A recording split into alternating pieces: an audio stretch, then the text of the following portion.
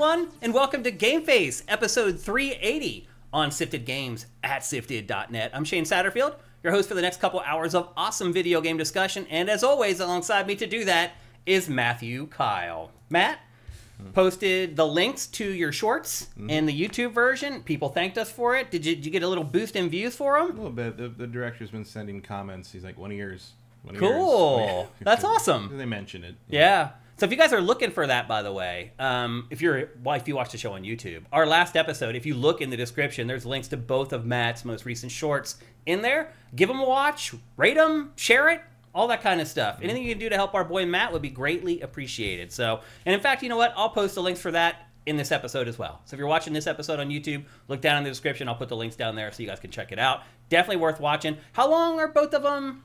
Uh, both about 10 minutes. 10 minutes, yeah. So again, they're shorts. They don't take that long to watch. Support our boy Matt if you can. Um, how's your week been, Matt? All right. Yeah? Um, yeah. No, I mean, Oscars weekend. Yeah. What What do you think about the Oscars in five minutes? Pretty solid. I mean, it's a, it's a, it felt more like a celebration of movies for once. Uh, uh, I think they do have a, a good host in Kimmel. Um, uh, a couple of the shots, shots near the beginning, um, uh, because Kimmel was involved, and our cinematographer for those shorts is uh, also does stuff for that show. Um, the uh, couple of the shots in the Oscars were shot by him, by the same camera Oh. that shot. Oh, wow. Our, our, uh, That's our stuff. awesome. So he's uh, doing his stuff over there for Kimmel, um, which Uh-huh. is cool. And uh, yeah, I was pretty happy. I mean, I knew Oppenheimer was. It just wiped the mat with everything. all the other films. But I'm glad that Poor Things did well. They did, you know, all the production design and costume and stuff. Mm-hmm. And uh, Emma Stone winning was a surprise, but I think she totally deserved it. She is that entire movie. Mm-hmm. Um, it's probably my pick for my favorite movie of the year. I still haven't seen Oppenheimer. Does it deserve it? Mm, in comparison, like against that competition, no, I would put, um, I would put uh, Barbie, uh, Poor Things, uh, Zone of Interest, and probably Anatomy of a Fall above Oppenheimer. Um, but it's also sort of a body of work award. It was sort of time to give Christopher Nolan his Oscar. Did uh, Barbie win anything? Barbie won Best Song? That's it. That's it. That's it. Are you surprised by that? No, No. that was that was my bet. Um, I only got 17 of 23 right this year. That's but- pretty good. but that was uh, I think usually that's really usually good. I do better than that. Um, I didn't win the pool. Um, I used to win the Oscar pool every time I went to any Oscar party, but then I started going to Oscar parties with filmmakers, and Yeah. like that's a much tougher. Now it becomes who who guessed the short correctly, basically. Yeah. Um, and I got the sh- uh, two of the two of the shorts wrong. Um, uh, I got um, best actress wrong because I thought it was going to be Lily, Lily Gladstone. Um, that was kind of a coin flip. They both Mm-hmm. I think a lot of people were surprised by that. Yeah, though. well, they both won a bunch of stuff, but Lily won the the um, Golden Globe, so I thought that was going to be her. Mm-hmm. Um, I'm, I have no problem with Emma winning it because Emma was phenomenal in that movie. Like it's hard to believe that's the same character at the end of the film. It's really good performance. What about uh, Robert Downey Jr.? Did he deserve his award? Do you think? Um, again, Or was I, it one of those things where it's like, you know what? We haven't given one to Yeah. him yet, so I- I he's think- close here. And I let's- think it's one of the. I think it's like body of work a little Mm-hmm. bit, and this is a good time to do it for him. Um, his speech was a lot of fun, uh, but personally, I would probably have given it to Sterling K. Brown, who was really the heart of American fiction Mm-hmm. in a big way. Um, actually, I also like I also liked American fiction more than Oppenheimer. Now that I think about it. Oh, Um, and uh, and you know, like Mark Ruffalo really, Mark Ruffalo really like knocked it out of the park. And Poor he's a great actor. Uh, he is, but Poor Things is one of his best. I haven't watched that yet either. And um, he, I, I would have been perfectly happy with him winning supporting actor as well. Yeah. Um, he was really, really good, and it was and doubly good because like apparently he was really not sure he could pull that role off, and and was talked into it by the director, and he just nails it. Just Mm-hmm. absolutely nails it.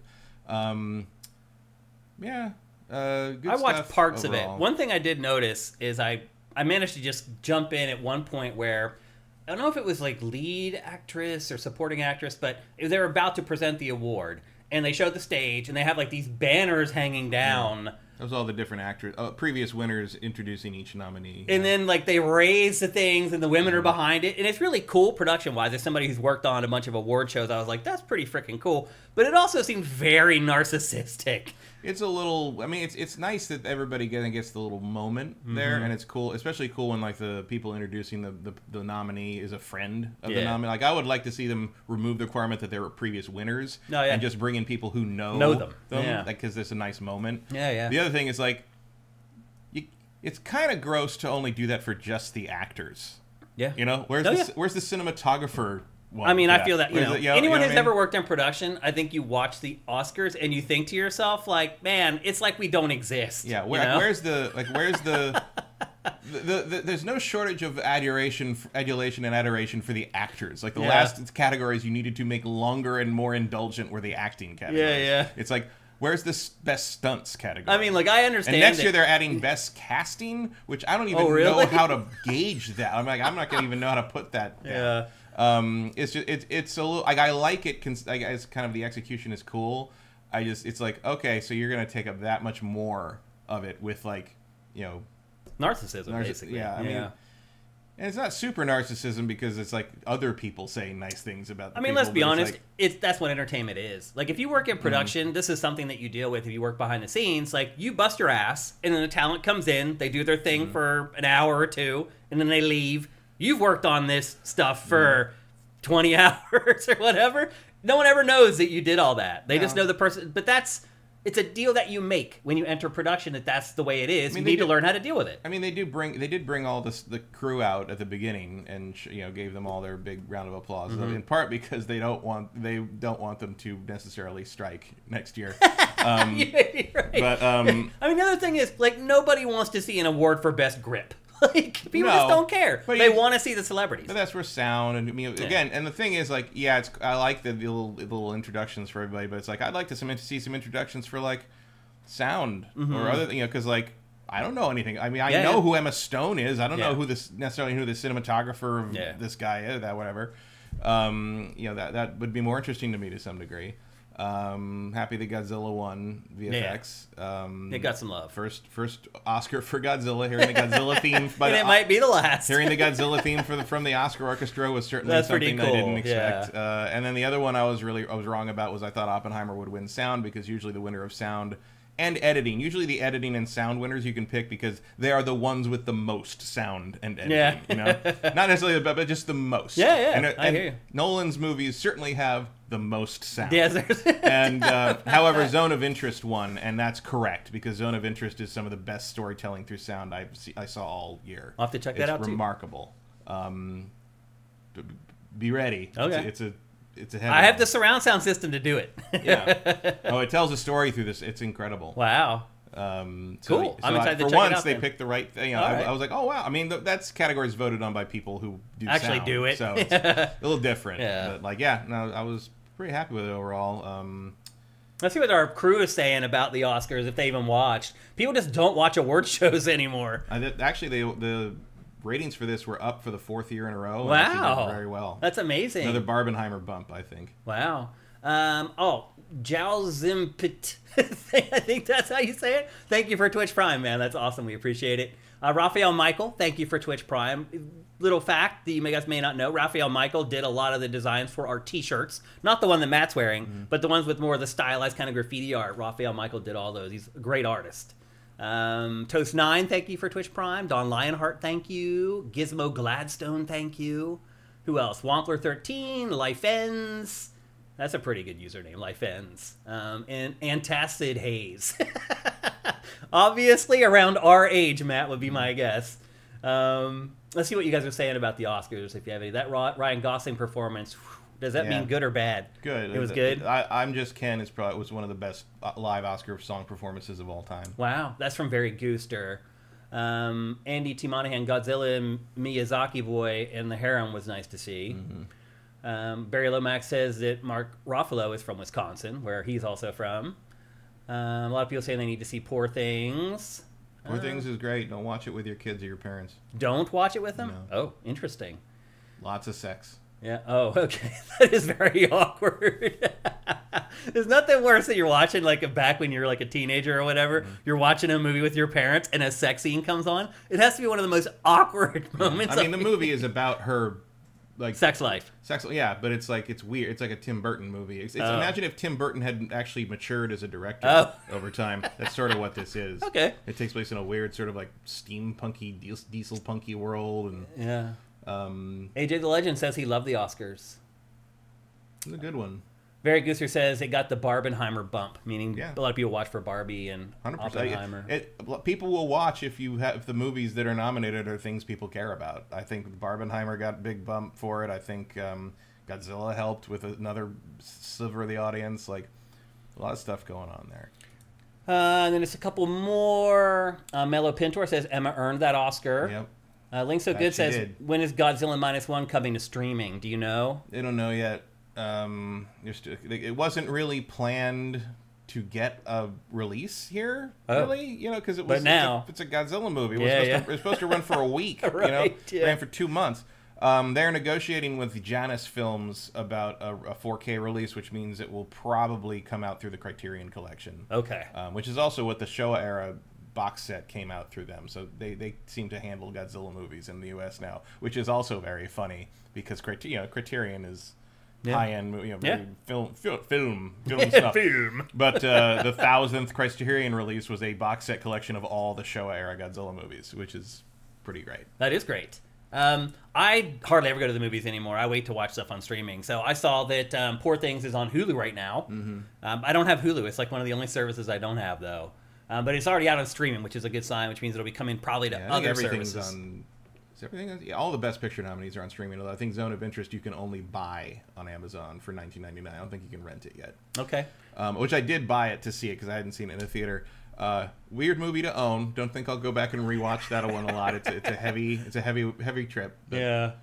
Uh, Retro Modern Gamer says Oppenheimer was the only new movie I saw last year. I don't think I saw a single movie in theaters last year. I saw dozens, Really? dozens of. do- I mean, I I see movies in theaters whenever I can. Are people Um, showing up to theaters? Oh yeah, Yeah, they're doing Oh, good? Yeah, like it's it's especially around here. I mean, the only we we go like our movie night group goes usually Thursday night or Friday night opening stuff, and like Mm-hmm. at the Chinese theater sometimes, and like that's always full. You know, not the edges, but like Mm-hmm. you know. Yeah, I think the what was the only. I mean, I didn't see Madam Web, so I, I as I understand the Nobody did, apparently. for that. um, but the only um, God, what was uh, there was something that didn't do well last year that was like the best. I haven't seen the theater that. Oh, it was um, it a superhero movie? yeah, it was the Flash. Yeah. the Flash was emptier than I'd seen anything since the Uncharted movie. Whoa. Um, it was like no. and it's already out there. I think it's Yeah. on Amazon Prime now for streaming. Oh, I mean that was half a year ago. Yeah. Was, uh, they, as soon as six weeks is up, you're usually seeing There it it on, is. on streaming. I mean, Which I'm totally cool with. like Madam Web will probably be on streaming March 19th. That's exactly when that theatrical run is over. yeah. Uh, so anyway, uh, this is a video game podcast, believe it or not. This is Game Face 380. Um, miraculously, we have a huge episode today. I know at the end of last week's episode, we were kind of looking ahead and we were like, hmm, what are we going to do with next week's show? As it turns out, plenty of content for an episode of Game Face. In fact, we can't really spend a lot of time just messing around. We have a lot to get to in this week's show. Um, let's just kick it off. Let's get it going. Let's start with our housekeeping. And there's a lot of that as well this week. A lot of smaller stories that were hitting the industry over the last seven days. The first one that I should bring up is unrelated to the industry in general, but we are taking questions for Pachter Factor right now. Um, if you are a patron, there's a there's an article up on our Patreon right now where you can leave a comment. If you use sifted.net, there's a post there where you can go and leave comments. And if you're just a user who watches us on YouTube or listens to our show on any of the podcast services, if you go to youtube.com slash sifted games and click the community tab, right there is a blog post where you can reply to it with your questions as well. Uh, we shoot the shows on Friday of this week, so I have a crazy week again. Uh, so you have a couple days to get your questions in. There's a lot going on. Don't forget about all the layoffs that just happened the PlayStation layoffs, the EA layoffs. There's tons of fodder for Pachter Factor questions, so get those in. Uh, the first real story for this week's housekeeping, though, is Mario Day 2024. This is turning into a thing, Matt. Like, it feels like the last two years, Nintendo's made a big deal about Mario Day. And I guess the the I is a one or something in Mario Day Yeah, March 10th. Mar- for March 10th, R- M-A-R 10 basically day. Um, why is March 10th Mario Day? Because that makes Mario. Oh, that's the only reason? Yeah. It has no consequence with the actual video game franchise or No. anything? that's Same reason, same reason May 4th is Star Wars Day. Yeah, May the 4th I guess you're you. right. Same reason November 7th is N7 Day for Yeah. Mass Effect. Yeah, that's true, I guess. Um, and it is becoming a big thing, and therefore Nintendo is kind of holding big announcements for this thing. Um, it announced release dates for two of its big upcoming games. Uh, Paper Mario: The Thousand Year Door. I don't still can't figure out if this is a remake or a remaster for Switch. That's a remake. Yeah, it, there's a I lot mean, of work. looks like they. I mean, I didn't look like they changed the content, but I think they definitely built all new assets for this. That yeah. that's not the GameCube version. Definitely not. They've up at the very least they've done a lot of work on the assets for it to upres them. Uh, that is coming out on uh, May 23rd, so not much longer to wait for that. Again, Matt and I have said this before. This is probably the best Paper Mario game ever Oh, I made. don't. I, don't, I think you would have very few people who. Oh, the first that. one, I guess a lot of people say. Some, but this is. I mean, this is a refinement of it, and like, I mean, I, I think this is definitely where they nailed the formula.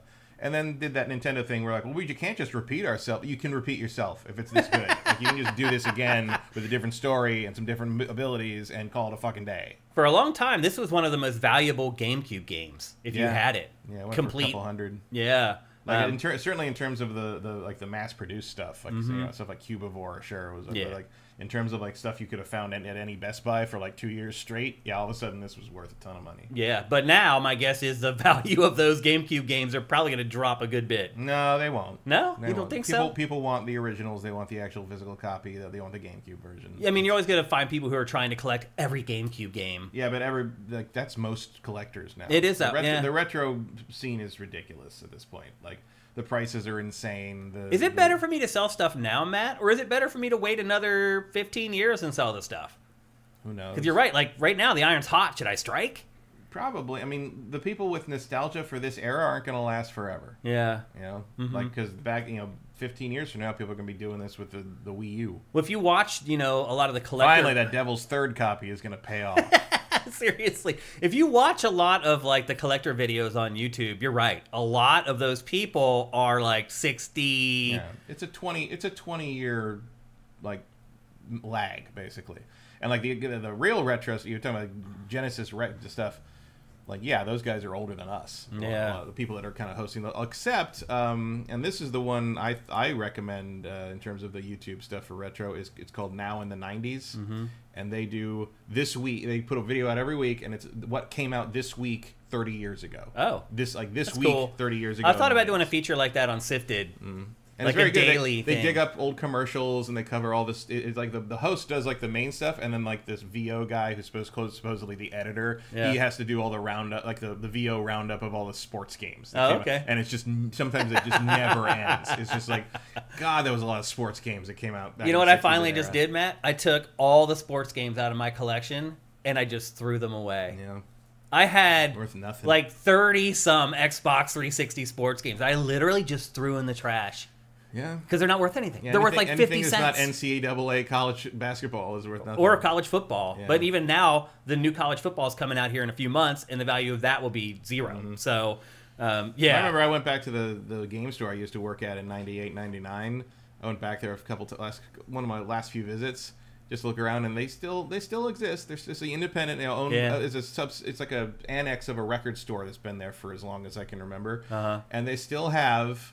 Uh, work, the guy working behind the counter was the grandchild of the owner, who like used to hang out in my in, in the store when I worked there and watch Dragon Ball Z against my will. Um, but uh, they still had this little stack of Madden 64 that was, I guarantee, were the same the cartridges same that one. were there Absolutely. when I was there. There's no doubt about that. Nobody wants Madden 64. It was bad when it came out. Mm-hmm. I mean, it was this gimped version of Madden that was just awful. So yeah, I, I, I can't imagine anybody would ever want one of those, Yeah. Like, unless they're you could, completing. You could probably trick someone young enough into thinking it's Madden 1964. But- that's before the NFL even existed. That was 68, I think. They don't know that. Well, actually, the NFL did exist. The AFL and the NFL came together to form Mm-hmm. the NFL. So yeah, I guess it did exist. Kids are dumb. You They can- are. you can- you can they don't know their history, anything. Matt. Um, some more stuff from Mario Day is we also got the release date for Luigi's Mansion 2 HD, which is really Luigi's Mansion Dark Moon, which was a handheld game.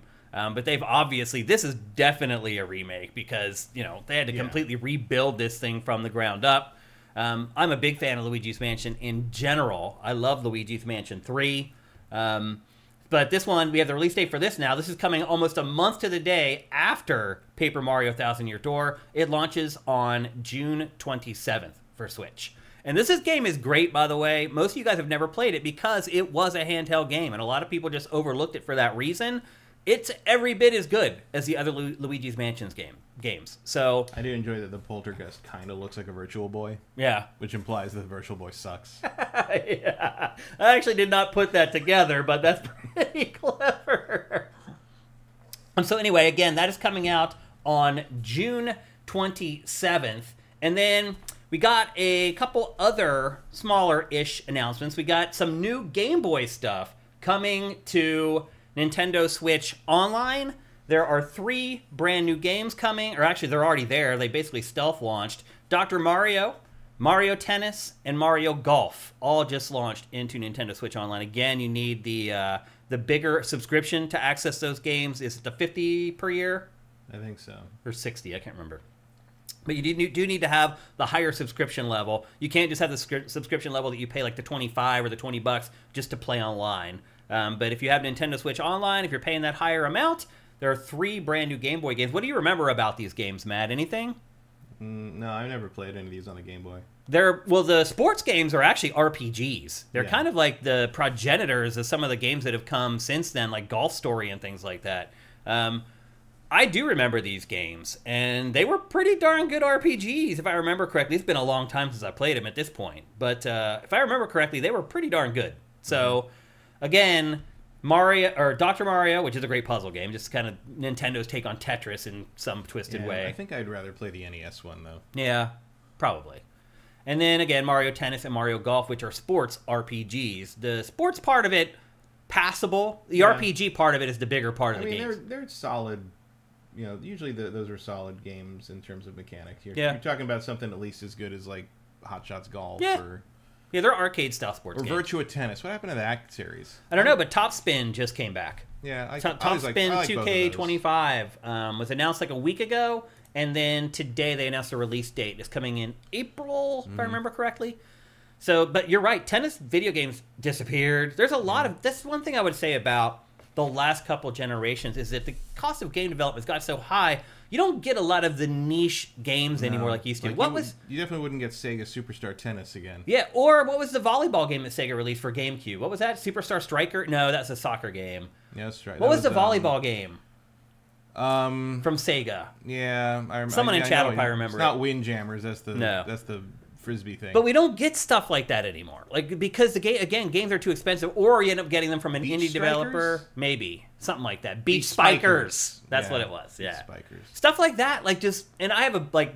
I have a buddy who used to be a professional volleyball player, and I was home for the holidays. He was talking to me Mm-hmm. about games, and he used to be a huge gamer. Like up and through adulthood, like probably he made it through the Xbox 360 era before he kind of fell off. But he and I used to go through legendary Mario Kart battles, and he, he used to be a huge gamer. He was telling me like he's fallen off from gaming because that stuff doesn't exist anymore. Mm-hmm. He's like, you know, you talk about these games that I've never heard of. He's like, I go to the game store, I look for games that are related to stuff I like in real life. And he's like, there used to be games like that. The PlayStation 1 era, PlayStation 2, he's like, anything you were into, there was a video game for it. He's like, I don't see it anymore. And you know, he's not the guy that's going to go on Steam and dig through indie games and stuff mm-hmm. like that. He's one of those players who just, whatever is put on his plate, he Yeah. looks at it. yeah, they're just not in stores. That's all. Yeah. And so to him, he's Well, like, soon nothing will be. So yeah, right. To him, the industry has changed for the worse. Mm-hmm. He's like, you guys are, you know, The Last of Us. He's like, what is that? I'm like, oh, it's this zombie game. He's like, I don't want to hear. it. I played zombie games. He's like, I'm a volleyball player. Where's my volleyball? He's right. There's no volleyball game for him to play play I mean, that's always been kind of a problem. Yeah. I mean, volleyball games are not exactly common. I remember the the first one I ever saw was on uh, Genesis, and it was Yeah. just this weird side view thing Yeah. that you couldn't even play properly. yeah. Yeah, there haven't been a lot of them. But his point is that like I just have I try to find games that relate to things I like in real life, and it's become harder for me to do that over time. Basically, I mean, I like zombies in real life. Yeah. Right. Um. So I mean, anyway, it's not like I go. It's not like you're playing professional volleyball either. It's, it's a fantasy either way. Yeah. And then there was a couple other smaller things. We got the first announcement of the Super Mario Brothers Movie 2. Who knows what they end up calling it? But the sequel Mm-hmm. to the Super Mario Brothers movie is coming in spring of 2025? 2026. I would say probably 2026, six. yeah. Um, and they didn't say a whole We're- lot about it. The word is there's two more playing, being planned after that too. I mean, so. why wouldn't you? You'd be stupid not well, to. especially because you're not going to have to worry about making any more Zeldas. I don't think yeah. Why? because I don't think a live action Zelda is going to going to hit. Yeah. I don't either. Yeah, th- that's gonna be a one and done deal. That's it looks gonna, like. that's gonna be because no matter how good it is, it's just gonna be Dungeons and Dragons again. Yeah. And believe me, Dungeons and Dragons deserve to do better than it did. That's a great movie. Yep. Um, and then there was a couple other smaller things. Um, Lego stuff. So they announced Mm. Lego Super Mario Kart. That's coming in 2025. Uh, they didn't say a whole lot about it. They put out a little teaser trailer that didn't show anything. No, It'll be interesting to see if it actually works. I would think not. Yeah, Um, it's probably just the carts. that's what I Um, figured.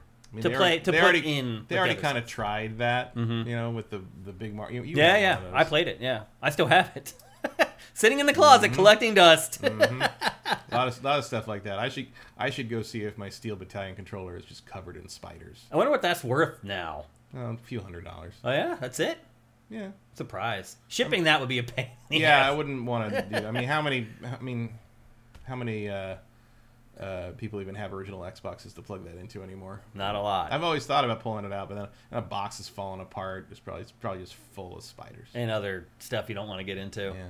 Um, and then the final thing is they also announced a bunch of new Mario Lego sets that aren't Mario Kart. Um, and that has been highly lucrative for Lego. I don't see got- that ending Yeah, anytime they soon. found a real niche with the video game stuff. I mean, that they've done those. They've done Horizon. They've done Mm-hmm. Sonic.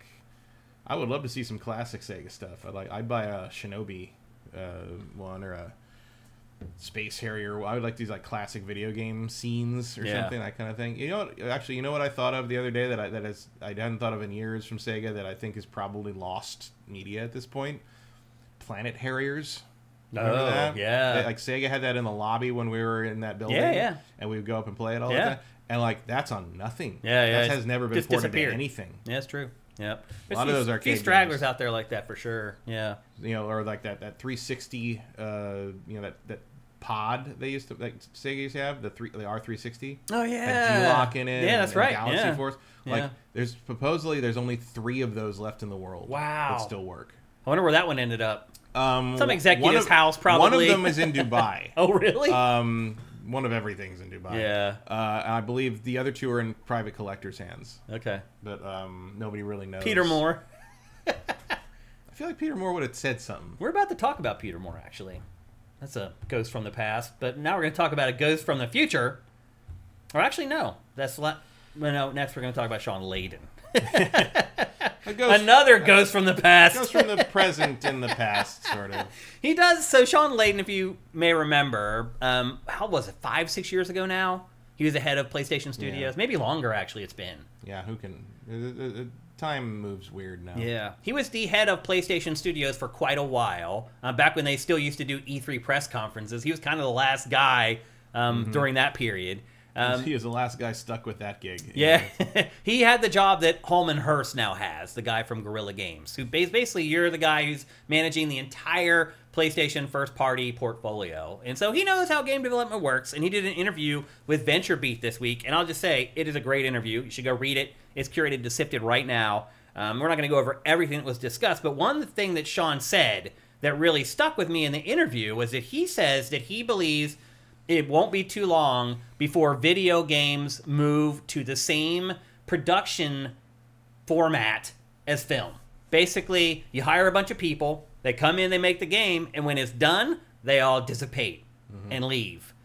How do you feel about that, Matt? I think that's unsustainable. Is it more sustainable than what's happening now, though? Because his Yeah, point was that no, we're paying well- people to sit around waiting for work right now. Um, well, that's a management problem. That's not true. A, not a not a hiring problem. That's true. Um, the reason the film model works as well as it does is because making a movie is the same every time. Like, no matter what kind of movie you're making, the lights work the same. No matter what kind of movie you're making, the camera works the same. No matter that's just how it is. Yeah. Um, that is not true of games. If you are not keeping around your people who know the ins and outs of whatever engine or whatever modified tools you're using. Like you are going to have to retrain people every time, or you're just rehiring the same people over and over again. Which at that point you're just like, well, you, we want us, to, you want you to be there and available and ready for everything we want you to do, but we're not going to pay you full time and we're not going to like give you benefits. Yeah. like, like that's just not. Because that's what this is really about, Matt. Yeah. Is that you, if that happens, you do not have to pay your employees benefits. You don't have to do 401k match. You don't have to provide Mm. Yeah. health care. And the other reason the film model works as well as it does is because literally everyone in film is unionized. Yeah.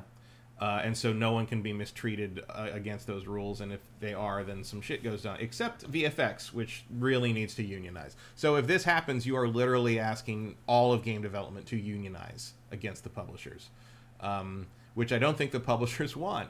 And so I would encourage them to figure out a way to just pay people properly and ha- and not be afraid to have talented and skilled people be on your payroll permanently. So when you make your next game and maybe plan a little better next time, uh, they can move right on to the next project. The other thing to remember, There are certain parts of game development though where you can't avoid the sitting around. right, and I mean, there's certain- but that's also true of filmmaking. Yeah. Half of movie making is sitting around waiting for No, the other true. crew to finish setting something up. It's true. Like, Why do you that's think- just how it works? Right. But film has already, you know, But film is unionized to the point that that's all covered. That's all handled. unionization is starting to happen in games. Yeah, though. and it needs like to happen- 600 employees at um, Microsoft just unionized Yeah. on Friday. And Activision today. yeah. Um, but what I'm saying, and the other thing to remember is that most of you know, yeah, I, I definitely have been talking more with my game development friends about you know all that's happening in the layoffs and stuff. And Mm-hmm. as one of them noted, who's been and this guy's been on everything. He's been on all the Assassin, ha- a bunch of the Assassin's Creeds. He was on Watch Dogs. He was on He's worked in AAA. Triple A, all and indie and every. He's worked on Mm-hmm. everything. You know, he's worked at ten person companies and ten thousand person companies. Mm-hmm. Yeah. Um, he says the only and he says all you need to make a game is thirty programmers, fifteen designers, and a couple of leads, and then a ton of artists. Mm-hmm. He's like the only difference between a double A and a triple A game is a thousand artists. Yeah, the assets. That's it. Yeah. That's all it is. Yeah. Um, it depends what kind of graphical fidelity you want. What we're looking at here, uh, this Lots of artists. Last of Us looks like this because 2,000 artists worked on this for four years. Yeah. Every texture. That's Even it. that, that text that corkboard The texture right there, back there. was made by a Somebody great had, artist. Somebody had to figure out what all that text said on that little can. And model- model Take- that model metal it, Take a can. picture of a real can, Yeah. model it so it's not copyrightable, like whole Yeah. thing. And I mean, some of this is because the, the companies are starting to, oh, maybe we can use AI to do this. But one of the things they're slowly figuring out, unfortunately, after they've fired a bunch of people now, is like you can't copyright that. Hmm. AI generated crap is not copyrightable because, Because you're taking it from somebody and else already. Scraped it from other people who actually do own copyrights on Yeah. Yeah. And more and more, they're finding people are finding ways to to basically trick these generate image generators into spitting out an image that's identical to the source material. Yeah. And they've been doing it with Disney movies, which Ooh. is the fastest way to ensure some Yeah. kind of legal action. Yep. So That's the that- fastest way to shut it down yeah, immediately. which is what needs to happen. Yeah. Um, I mean, it's a difference between like like AI. I mean, we people have used AI stuff, what we would now call AI, to help make games for 15, 20 Yeah, years. Like, yeah. procedural generation. We is used to call them of AI. macros. Yeah, macros, or like or just tools. Sometimes I- that's just what no, tool I hear means. you, yeah. Like no one placed every tree in Skyrim Yeah, personally. yeah. That was a procedural, gen- and we would call that AI because if you go to like CES or one of these. Tech shows now, every single fucking company has whatever AI in the title now, whether Uh-huh. what they're doing is AI or not, because that's the hotness. Well, that's how you get It's money. Like, it's like how everything used to be blockchain. Yeah. Or everything was crypto. like that's just how it is now. So eventually they're going to learn that this is. I mean, like, and there's ways to use it. Like uh, a guy who was doing like walk animations gave the example of like maybe if I have like kind of a, a large language model that or that I can like plug in like five of my animation keyframes to, and then it spits out like 120 frames a second animation of the walk frame walk Uh-huh. cycle. Like that saves me a lot of time. Oh, yeah. And I didn't use any stolen assets. Right? I just put yeah. my own art into it, and it's like an internal tool that spits that back out, and now I've got this walking character. Yeah. Great. That's great. Yeah, yeah. But like, you still need the artist to do that. Oh, like yeah. that, he a person needs to be Start there it. and Yeah. be paid to create that work. You can't. The, the, the machines can't create anything. Oh, Not- I've learned this, Matt. and if they don't, trying to make the, the open for game face with AI. Oh, it yeah. just wasn't ready yet. It's And kind of ready now. If you can get into the beta for that new thing that OpenAI did it's or whatever. still not. I mean, it does not creating anything. It's just like it's making Well, it's text to video. It's making collages out of existing art stolen from artists. Yeah. That like is such a detailed like mishmash, such a big mishmash that our eyes can't tell the difference most of the time. Um, but it, it can't create anything new. Like anyone who tells you that the AI is creating something is lying or stupid. It's just creating a potpourri, basically, right from it- existing assets. Because if it could create something new, it's sentient. it would be and scary it, would, and it would be in a fucking lab somewhere. We wouldn't be. You wouldn't be, have access to Chat GPT if it could think. They're not thinking when you're not talking Yeah, to them. right. They, they don't have any independent thoughts. Yeah, yeah. And when they do, they are a new form of life. Yeah. And and and, that's assu- terrifying. and I assure you, that new form of life will get very tired of you generating four thousand stupid AI versions of Henry Cavill's Superman looking like a monster, right. And then calling it cool. Yep. Um, so anyway, yeah, I mean, I think you're right. I think for that model to work with game development, you're right. You're going to need to protect yourself as a developer. Yeah, it needs to change. It, like the whole industry would have to change how they treat people and how people expect to be treated on a massive scale. And he may be right, but like, I'm not sure any of these companies are ready to make that change. I think right now they're all scrambling, trying to figure out how can we still make games as good as we're making them now, but chop a hundred million dollars off of the budget for them. Mm-hmm. Well, and I just don't know if that's feasible. The American fiction screenwriter uh, basically laid that out when he in his acceptance speech. Like instead of making a two hundred million dollar movie, make 10 20 million dollars. I saw that clip actually, Like, very compelling. Yeah, yeah, and he, then he said like make like make a thousand fit like make 15 four million dollar movie. Right, yeah. absolutely, absolutely. yeah. I mean it makes sense. yeah. You don't have to dump two hundred million dollars in a movie to do well at the box office and turn a profit. And you can still make these big Last yeah, of Us look at. Godzilla. But you got to pick your fucking battles, Yeah. And or look at the creator. The creator didn't win because it didn't have the positive buzz that Godzilla has. It was a bomb. Mm-hmm. Um, and sometimes, if your movie's unpopular enough, uh, Academy voters just won't even watch it. Right. So that's one of the reasons Godzilla probably won. Yeah. But also because all during Oscar voting season, they were putting out positive stories about that. And Godzilla's just like Godzilla cost five. The effect cost five million dollars. it's amazing. The whole movie probably cost ten. That's what I. That's why I pointed to it. And Yeah. like, if you can make it look that good, there's shots You in that it. you cannot tell that that is not a model in the water. yeah, And if you can do that, you don't need to spend 200 million. And also the fact that they planned everything. Right. That was the main because it helps that the the writer, the director, and the VFX supervisor were all the same guy. yep. He knew he didn't have to ask anybody what this had to be. Just I know what it's going to be, and I'm going to make yeah, it. and more and more you see, you know, and sometimes you have someone with a clear vision. Uh, person sticking to my head right now is Stig, um, because he just Who his new studio was announced new today? Studio today. That's why Yep. he's that's why he's on my mind. Um, but you know, that's one of the reasons I think Jedi Fallen Order was as good as it was, was because he knew what he wanted to make, and it was on him to do it. Yeah, and when and when you can then like distribute that to the whole team, everybody is sure you know. If you can distribute and communicate what your vision of that is to, effectively to your team, so the team can just think, "What would Stig want us to do? He wants it to be like this," and they don't even need to stop and ask you. No, they, right. they know what we're making. Yeah. Like that's a big deal. And more and more movies and TV, espe- movies, TV, and games, especially at that giant budget level, they don't seem to know. And it There's lot becomes and, and also because you're serving so many masters. Like you're you're you got oh this executive gets input, this person thinks this, this person th- you know, it's like no, just make the fucking art. Yeah. Make the thing. Like you got to you can't make the thing by committee. You have to actually do it. Yeah. Um, which is also what Dakota Johnson keeps saying about why Madame Web sucked. Yeah. So there should be some lessons there. I don't know if anybody's going to be smart enough to learn them, particularly at Sony Pictures. Yeah. Um, but anyway, again, that interview is up on SIFTD right now. Check it out. He says a lot of other stuff that I feel is at least interesting and will make you think about game development if you're interested in that kind of thing. Um, next up, there was another interview with an old luminary, and I kind of teased this a couple minutes ago. Peter Moore did an interview with IGN. Peter, I mean, he's an industry stalwart. He was at Sega for the Dreamcast era. He went over to Xbox. Remember, he got is that tattoo real? I- It wasn't real. Of course not. It looked pretty good. Looked pretty real. It's good. It's I mean makeup's good. Yeah. No, they but he was really good. kind of the head of Xbox for a while. He's really been around. Now he's like, is he the president of Liverpool football team in Europe? Yeah, he's, he's something like that. Yeah, he's uh he's had quite a storied career, and IGN decided to catch up with him and kind of pick his brain on a lot of the stuff that's happening now. And one of the things that he mentioned again, because he worked at Xbox, he talked about Microsoft and Xbox talking about not releasing another console after the Xbox 360.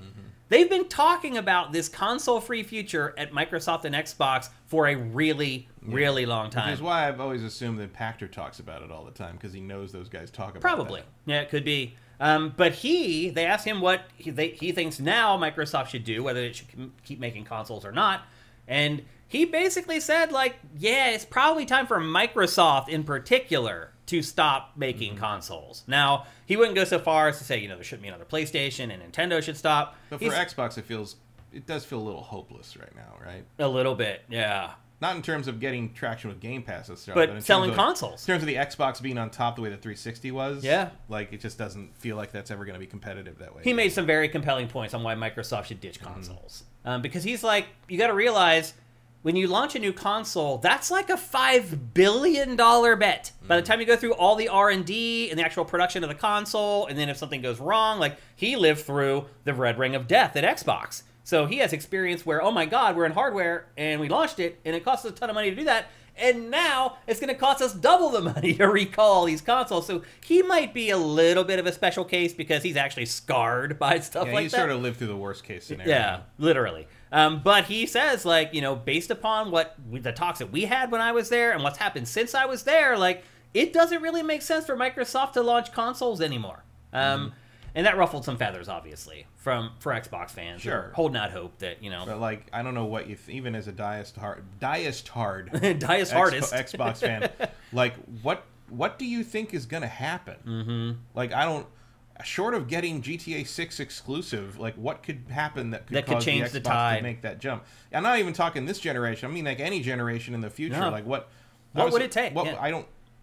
I can't think of anything. I can't either. It would take GTA Six. It would take GTA. It would take Sony screwing up on a level that I can't even conceive. Because of. let's be honest, It would take a already Sony Wii U. kind of screwed up. Like it's, Yeah. I mean, it's been like 18 months. We've got one first party game in 18 months. But they've got Like, all the other games on Yeah. the system, so it doesn't matter. And we've talked about many times about how people built their digital library on PS4 Mm-hmm. and they don't want to turn their back on that and start building it again on Xbox. Yeah. You're right. Like there is The it's hard to even very hard to fathom. overcome. It's hard to even fathom And- anything that Xbox can and I do. think now that you you know that your library carries over from generation to generation, it's a lot harder Yeah. to suddenly gain traction at the beginning of a next the next one because no one wants to give up give that up. It's like trying to get people off Steam. yeah. It's not. You know, It's not going to happen. Not gonna happen. As Epic Game Store is learning, as Yeah. it just basically just liquidates money. literally giving stuff away for free, and I was like, "That's cool," but it's not on Steam. I'm still so- going to Steam, yeah, to buy my games. It's yeah, there's just certain inertia that it's the unstoppable object. You know, Mm-hmm. it's there's just so much inertia. It's not going to stop. I don't even know if GTA 6 being exclusive to Xbox would change it. That's the Mm-hmm. only chance there is. But I don't. I don't, still don't think it's good enough. Yeah, I don't know what what it would what it would take. Yeah. And like no one would do that. It may get you to 50-50 Yeah. with PlayStation. But it wouldn't win you the fight. What would happen is a lot of people would buy the console just to play GTA, Yeah. and they just keep buying all the other games on their PlayStation. Or you'd need I don't know, like you'd need the the new Xbox would have to be just markedly more powerful. Like double power. Everything would play better. like, even more of a you want, disparity than you want 360 4K 60 PS3. frames a second every single time. The Xbox can do it. The PlayStation can't. Like that'd be the only thing.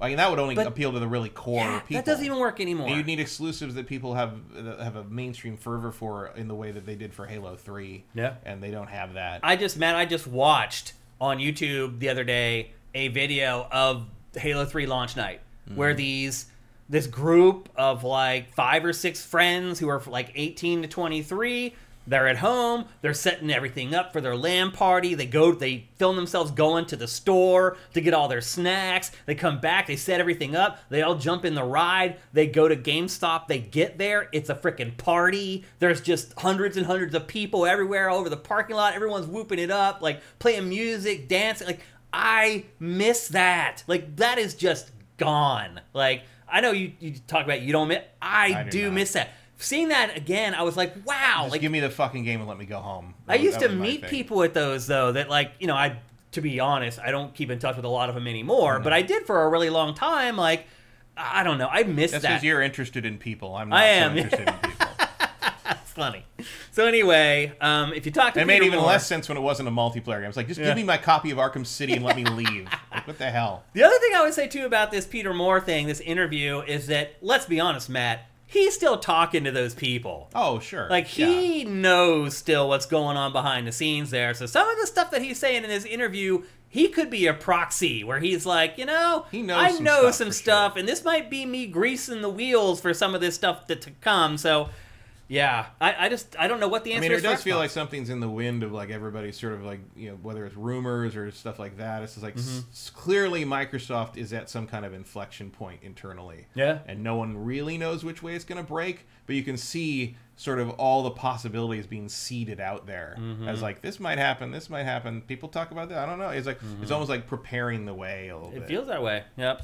So anyway, that's the latest on Xbox from somebody who probably knows. Um, we teased this last week because it was a rumor, and now it's come true. the day Ghost- after. that Ghost of Tsushima is coming to PC. Um, again, it was a rumor in last week's show. We got confirmation from PlayStation that it's on the way. Um, are you going to play this again on PC, Matt? Hundred percent. Yeah.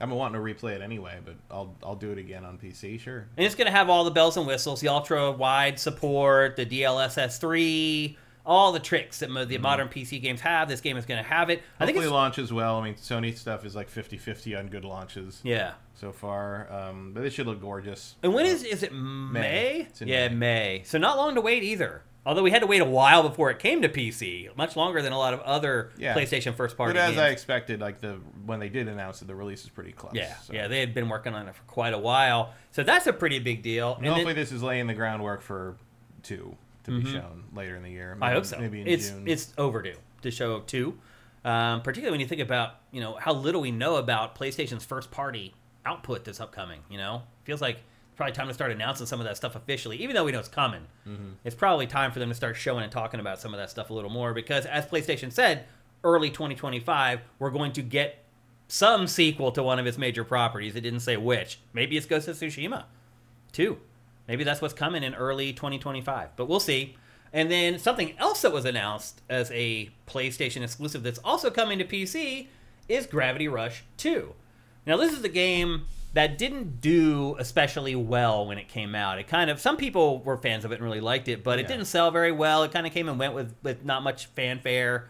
Um, this Same game, the first one, really. Yeah. It was, it was, they they really wanted this to be something. yeah, this game probably should have come to PC two years ago. Yeah. Although there was a, I mean, there was a period where the the remastered versions of these two games were going for hundreds and hundreds of dollars Mm-hmm. because they were very briefly released on PS4 and that was it. Yeah. Um, these games were made by PlayStation Tokyo Studio, which I think was just disbanded in the layoffs. I think that was one of the studios that was cut.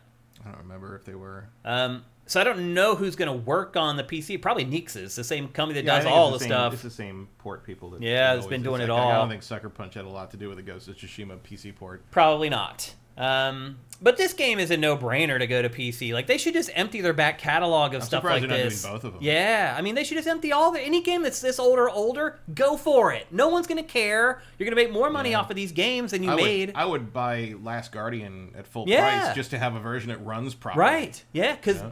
you're right. Like the the version that came out, it ran like crap, and it wasn't quite up to the. And they vision never everybody had and they never gave it a PS5 uh, proper upgrade. Yeah. Yep. So there's there's tons of stuff right now. In fact, I think it runs for a while. I don't know. Maybe they fixed it, but for a while it ran worse on PS5. Yeah. Yep. So there's so many games in PlayStation's catalog oh, from Oh, yeah. PS4. The whole PS4 catalog I should mean, be well, on even PC. before that, I mean, like it's nice they're putting the the Vita or whatever Resistance game on. What, but where's the PS3 trilogy? Right. Like, like save that stuff from that console. I don't. I think it's too much work. I think it probably. I mean, probably, but it's like. You- I mean, it's it's a shame that like those games and the Ratchet games are stuck, Stuck. there, and the Sly games, and um, PS3 was such a PS3 a huge mistake on so many oh, yeah. levels. Oh yeah, you never should have given Kutaragi it's just free crazy. What Cyber. World did not pay off. Um, it did not. or like um, what was the other thing I was thinking of from that era? Um, I forgot. No. There's a bunch of stuff in there that I Oh, there's like, tons. You, you should rescue it, like a Killzone. Killzone. Yeah. Like, I mean, I'm sure nobody wants to think about Killzone over Guerrilla again, but it's like, why not? Like, it's, Why it's a shame that those things are still. There are I mean, fans of that streaming game. only, but like, I guess there's some of them on, on streaming, but like, that's not the same thing. No. And I wonder if they literally just have like PlayStation 3s sitting somewhere for the. Yeah, I don't. I mean, I don't know. I mean, PlayStation Three Blade servers. Right. Probably. I mean, I don't know how else you do it. I don't right? either. I don't either. Uh, so anyway, there you go. We don't have a date yet for uh, Gravity Rush 2, but it is on the way to PC. Um, and then next up, so Marvel Spider-Man 2 finally released its new game plus this week, Matt, and it was an unmitigated disaster. Oh wait, did I just skip the story? Yeah. I did skip a story. Skipped EA. Okay, so this story, Matt, you've been asking for something for a really long time that Mm-hmm. finally came to fruition. However, And the monkey's paw curls. however, it didn't work out quite as you hoped. And I guess I'm guessing you're saying right now, not like that. no. So Matt has been asking for a long time for EA to actually recognize that it has this awesome back catalog of games and franchises and IP that it can make new games from. And finally, EA is like, "All right, Matt, here's 11 games of our from our old catalog that we're going to release on Steam. Something that EA never does." And then what happened, Matt? Well, they're First of all, really, not really the ones I was hoping. Also, they're all ava- been available on GOG for years. Like these are none of these are new. These are the games: Releases. Command and Conquer Ultimate Collection, SimCity 3000 Unlimited, Populous, Populous 2, um, Populous the Beginning, Dungeon Keeper Gold, Dungeon Keeper 2, um, Sid Meier's Alpha Centauri, and the Saboteur. And some of those are good. Yeah. I mean, the Saboteur is great. Mm-hmm. Pandemic's last game. Yeah, it's last ever game. Um, a couple of those Command and Conquer games are going on, but it's like again, they were they've all been available on GOG for years. yeah. Um, so if you wanted a version with DRM, here you go. um, like I, it's, I- and it's I don't know, like I, it's a good sign, I guess. Yeah. But don't stop. It's a here. start, Yeah. right. Don't don't. This is you're not done. Yeah. Like keep going. Yep. Let me see some other stuff that hasn't been around for a while. Um, it also resulted in uh, a weird situation for another game um, called uh, Potions: A Curious Tale, mm-hmm. which I've been playing. Um, so the the story of so the potions. Uh, here's my curious tale about potions. so long, long ago, in the the wild the wild and primitive year we call 2015. Um, I was on a show for a network called Fusion about Star Wars. Yeah. It was an official, like by you know, by Lucasfilm was involved. Like we were making a real Lucasfilm, you know, sponsored production, Working with about, with Lucasfilm. Lucasfilm, with Disney, everything, to um, make a show about Star Wars video games because it was Force Awakens was coming out. It was basically going to be like a big celebration of Star Wars video games. Um, they changed that eventually to only highlight. They wanted to. This, they said instead of being about the top ten or whatever classics, best Star Wars games, they wanted to be about the ones coming out. So it became going to Sweden to interview the Battlefront team and and uh, uh, I think Disney Infinity and and uh, stuff like that. So, that, so but at the time we thought we were going to have to get like you know we were going to do kind of like a I love the '80s sort of thing about Star Wars games. Um, and so we were gonna go. We'd already gone to D23 and gotten some interviews. Then we, I interviewed Chris Kohler for his stuff about that. We, we did get some stuff in the can for that. But we're gonna go to PAX in Seattle and interview people just about their favorite video, favorite Star Wars games. Uh, at the same time, this other show uh, that was at the network at the time uh, uh, had uh, it was a show about online people trying to make a kind of online businesses their career or whatever. And they had this girl who uh, was trying to make a game about potion brewing, and they wanted me to set up interviews with people like up in PAX that she could talk to about getting it published or advice or how to, and then that they could film it for the show. So I did. I set her up with a bunch. I think my friend uh, at, who does Devolver PR set her up with the CEO of Devolver, and like, I mean, we got her some good access as far as I know. I didn't. We didn't go to PAX in the end, so only they they did. But as I Yeah. understand it. She met a bunch of people and they all liked her and gave her, you know, ideas and and you know, what to do Tried and to how to her. do it, and Yeah. it helped her. a bunch. And so, uh, and I didn't think much of it after that. You know, that, that, that job was done, and then we did Star Wars. Um, we finished the Star Wars show, and the day or the day, the couple days before it was supposed to air, uh, that French terrorist bombing happened, and Disney's Disney's um, policy when something like that happens is to just shut down all promotion for a couple of days. So our show got zero promotion. Nobody knew it no, knew it aired. It aired. We'd worked on it for like five months. It aired. No one saw it. The end. you got Um, paid. Yeah, I got to go to Sweden Yeah. for 24 hours. We are in Sweden for like 32 hours. It was. It, I think we were in the air there and back longer than we were on the ground. Amazing.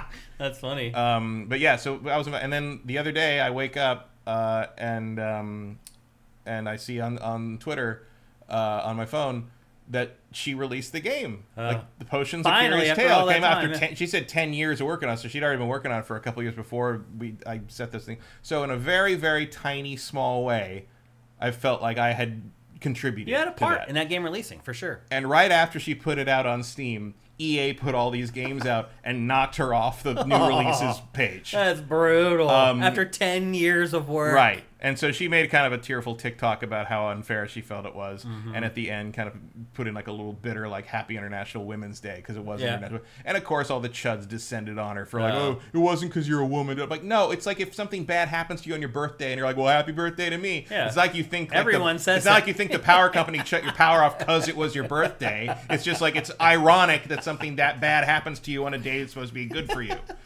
Use your fucking brains, people. Jesus Christ.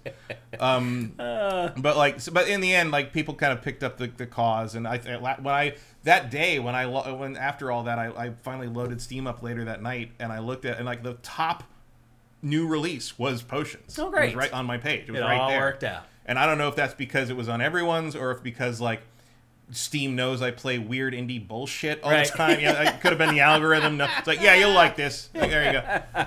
You're doing a weird thing with ingredients and you're collecting berries the whole time. That's what you like, right? We know you. Yeah.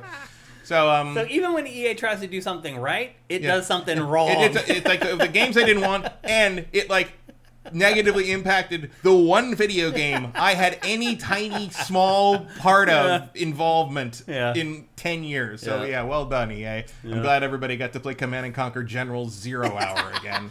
You think this is gonna be the a harbinger of things to come? You think EA? I hope so. I hope they start putting more Because look, it made we showed it to you guys. They made a trailer for this. Yeah, Like, they, they, they put some effort into it. I'm not saying like, you know, ah, go away. maybe they are. Maybe you just turn on the page here. I would like to see you know a little more esoteric stuff. I like to see stuff that like is more modern. You know, like the, again, I think these are mainly because they already existed in, in modern working form on GOG, um, and you can just throw. I mean, that command and Low-hanging Conquer- fruit, That command and conquer collection's been everywhere. Right? Yeah. And it's a good collection. It's got everything, literally everything, including Renegade, which is still a pretty good boomer shooter. Yeah, yeah. Um, but like, yeah, I'd like to see a little more. I'd like to see some weird shit. I'd like to see black and white. Yeah. Those are- those are basically missing Yeah. media.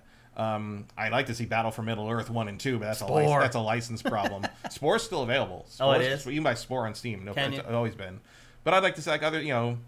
Um, I mean, that, it's, the Battlefront games are probably coming out in the collection, so that's cool. Mm-hmm. But like little things, I'm trying to think of like EA stuff that was like in the early 2000s that like maybe like we don't, you know, Dante's Inferno. Can you still get that? I think you can still get that on Steam. I don't. I think you can. I- really? Yeah, I'm surprised. I think I have that on Steam. Wow. And I'm trying to remember. SimCity has kind of just disappeared. Some, some nice SimCity collections would be good. Um, Wing Commander, Yeah. like they own Wing Commander, they own all of Origin stuff. A re- some really nice Ultima remasters would be nice. Yeah. um, They have a I- huge They're catalog. all available on GOG in their original form, but it'd be nice to have something where the in- the inventory isn't like trying to figure out Python. You know, it's like it's like some of that stuff is just awful. It is, now, you know, yeah. you, you, we put up with so much weird shit on that because when you're a kid, There was had- no plug you had and nothing play but back then, Matt. and like it, I don't know. I, I don't remember playing like those old stupid like PC RPGs and stuff where all the, everything's so awkward. And I ne- it never occurred to me that I wasn't wrong. You know what I mean? Yeah. Like it was like it's like well clearly I just don't understand how this works. No, the fucking bag system in Ultima Six sucks. Yeah. Okay, like that's not it's not our fault. We didn't do that. The fact you have to put something in a bag and then to hold that into the other bag, you put the small bag in the big bag, and somehow the small bag holds more. yeah. Like that's not how, how bags work, but it is how bags work in Ultima. So it's yeah, it's um, Hopefully, this is a sign of better things to come. yeah. I I, first I, step. I would like to think so. Yeah. I would I, I, I hope. I hope there's some forward thinking here. I mean, I, like you say, the fact that they made a trailer for it, and if you notice how often they show someone clicking single player, Yeah, yeah. on that that feels like intentional, yeah, right? yeah. Um, so yeah, I'd like to see uh, this continue. Um, I'm taking it as a good sign. Yeah. Um, but it's it certainly isn't the start I was hoping for. But Yeah. like, hey, you got to start Better than nothing. Yep. With EA, you know that it's just like if you're going to start any kind of program or any kind of you know uh, thing like this, it's like, well, it's the cheapest possible way. Yeah. And it's just take all this shit on GOG and put it. This already Steam. we know works already. But it did. It seems to have done okay. Like, Yeah. That stuff sold okay. People so care. maybe uh, They'll encourage him to keep going. people will come, Ray. Yep. Uh, next story, I kind of teased it a minute ago, uh, is related to Marvel's Spider-Man 2. They finally released the new game plus for the game, and this is just baffling to me coming from Insomniac, Matt. But it, so inside the code, first of all, inside the code for the new game plus, when they started like decompiling it and digging into the code, they basically found the DLC roadmap for the game, Mm-hmm. so they know now what the deal is. Like is it Beetle or something like that? Is that what's coming? Beetle. Yeah, there's some there's something that they found some character. I mean, the Beetle is a is a Spider-Man villain. Okay, well, I think he's part of the DLC that's coming, so they found that. But the worst part of it all was that they also included the debug menu in hmm. the game. And of course, players found the debug menu, and then Insomniac was like, don't touch that because it could completely corrupt your save. Mm-hmm. I, I, That, that did not stop anyone. no, as I understand. it. I, from Insomniac, I can't believe this happened, Matt. especially after the the hack. Yeah. you'd think you'd have everything lock. locked down. Yeah. Holy moly, man. What a mistake. And they're like, oh, we're going to issue a hot fix and blah, blah, blah. When everyone and that's everyone's like, take your stuff offline, stop upgrade update because everyone wants to keep the debug Yep. for whatever reason. I mean, I don't really care about that. But Well, we don't care because we've had debug menus throughout our careers. Right. Like, people who don't work in the industry like we have, they've never messed around with a debug Sure. menu before. like, I promise you, it's more fun to just play the game. It is. yeah. As we learned very quickly, you leave the debug menus alone generally because it does cause problems. It'll make the games crash and but anyway, it just to me the oversight here by Insomniac is just again, as you pointed out, after the hack to just not have everything buttoned up for something like this. This is also, by the way, people were waiting for this new game plus for forever. It's been what now? Four or five months since the game launched. Like we've talked about New Game Plus before. It's like you know a month or two after the game comes out. That makes sense. I mean, we're way past that now with Yeah, this I mean the first game didn't get New Game Plus until the first DLC You're right. pack. I don't Yeah. remember how long that was after launch though. Mm-hmm. so anyway, Insomniac had a lot of time to make sure this was all buttoned up, and they left the debug. I just, I can't comprehend it. I don't know how it happened. Um, it is one of the biggest gaffes I've ever seen from a major studio. Yeah, I don't. I mean, there have been weird things in, th- but this is like the whole menu, just access to the dev menu is It's crazy. remarkable. Yeah. So Certainly on a console game. Yeah. I mean, be, being able to dig that out of a PC game is not that unusual, but Yeah. like, I mean, especially on a Sony I don't know. it's bizarre. Like Um, I when I saw that news, I read it twice. Yeah. Like, Re- really? Like, Insomniac's had a rough couple months here, man. Yeah. It really, I mean, for a studio that's almost infallible in the past to have to go through a horrible hack and then just to have, you know, this is all. Insomniac's fault here. And the layoffs, which uh, again wasn't really Insomniac's fault. It's Oh, no. the mothership, but still. you couldn't really perform any better than they did. Yeah, it's And, been a uh, rough few months for Insomniac. I'm sure they'll be fine, um, but it is a little bit of a blemish on an otherwise remarkable history as a game developer. And then we got some bad news this week, Matt. The creator of Dragon Ball, Akira Toriyama, died this week at 68 years old. Um, that seems young It is to die. Um, did you ever figure out what happened? subdural hematoma. Oh, so is that like an aneurysm? Mm, it's a it's a burst blood vessel in the brain b- between the brain and the skull. uh, Usually from a, a injury. It's Really? Usually from a hit. Like it's like maybe he fell or something or a Oh. car accident. You My sometimes- grandmother, my grandmother's died from that in Mm-hmm. her sleep. Uh, next, But there's been no details on it. Just that Okay. they just said in the in the letter they sent out that that's what it was. yeah, and we don't normally talk about anime and manga that much here on Game Face, but this guy's a legend. We make he's an exception a- for this guy. He's a one of the most influential artists on the planet. It's incredible. I mean, to Like there, think, there are like China, the Ministry of Foreign Affairs put out a, a statement and an honor to him that is normally reserved for prime ministers and presidents when they Yeah. die. Like, and it's estimated that Toriyama's work uh, resulted in over 400 million Chinese children reading his his work and getting into comics and, beco- and enjoying reading. Like, Wow. like China credits him for like m- hundreds of millions of people being enjoying reading. Like he it- basically raised he- two of my nephews. he um I mean, his his, his shows. his work improved Chinese Japanese relations. yeah, it's, it's a remarkable. he truly transcends. I am not a giant Toriyama fan. I, I was too old for Dragon Ball when it Me came too, here. I yeah. don't particularly like the art style. Um, it's just a certain combination of whimsy that It's I very unique, though. don't You really- see it, you Oh, know yeah, immediately Dragon, what it Dragon is. Quest and Chrono Trigger cannot be argued. Yeah. Let's be honest. You know, I love Chrono Trigger. Mm-hmm. It's probably my. I would say it's probably the best 16-bit Square RPG. Maybe Square's best RPG of all time. Mm. Yeah. Um, and he did all the art in that. Um, uh, for uh, Dragon, you know, obviously Dragon Quest. I mean, huge part of you. They, they, somebody was posting um, the requests for the creatures they sent him for Dragon Quest One and what he sent back, and like he don't give a fuck what they wanted. like the slime was like this little gelatin thing. He just draws back that fucking teardrops line. Like, of course, you know, he's like, "Oh, you want it to be like a weird little gelatin thing? No, here's the most iconic thing that you'll ever publish. Yeah. Here you go. There's, And he was there's right. a face of your whole franchise for the next forty years. He was right. like, there it is. Yeah. Or like characters are like, she should be in a miniskirt. She's like, no. He's like, no, she, she shouldn't. It's a long dress. She should There have you a long It's like- sleeve dress. Yeah, it's just like, it, and, he, and that's what she was. You know, that's what they went with because Yeah. he's fucking. He's a like- genius. I mean, let's and be remember, honest. Dragon Quest is some, Dragon Quest was so popular that when a new one would come out, so many people took the day off work that the productivity impact could be measured nationally. Yeah, it's it was for a long time. It was the biggest video game franchise in Japan. Period. Yeah. There this, was none this bigger. man is is there are very very very few people in the world that can com- compare to his impact and his like Spielberg, yeah, Lucas. He's on that like level. you're in you're in oh yeah, that realm he's in that level with these guys. Yep.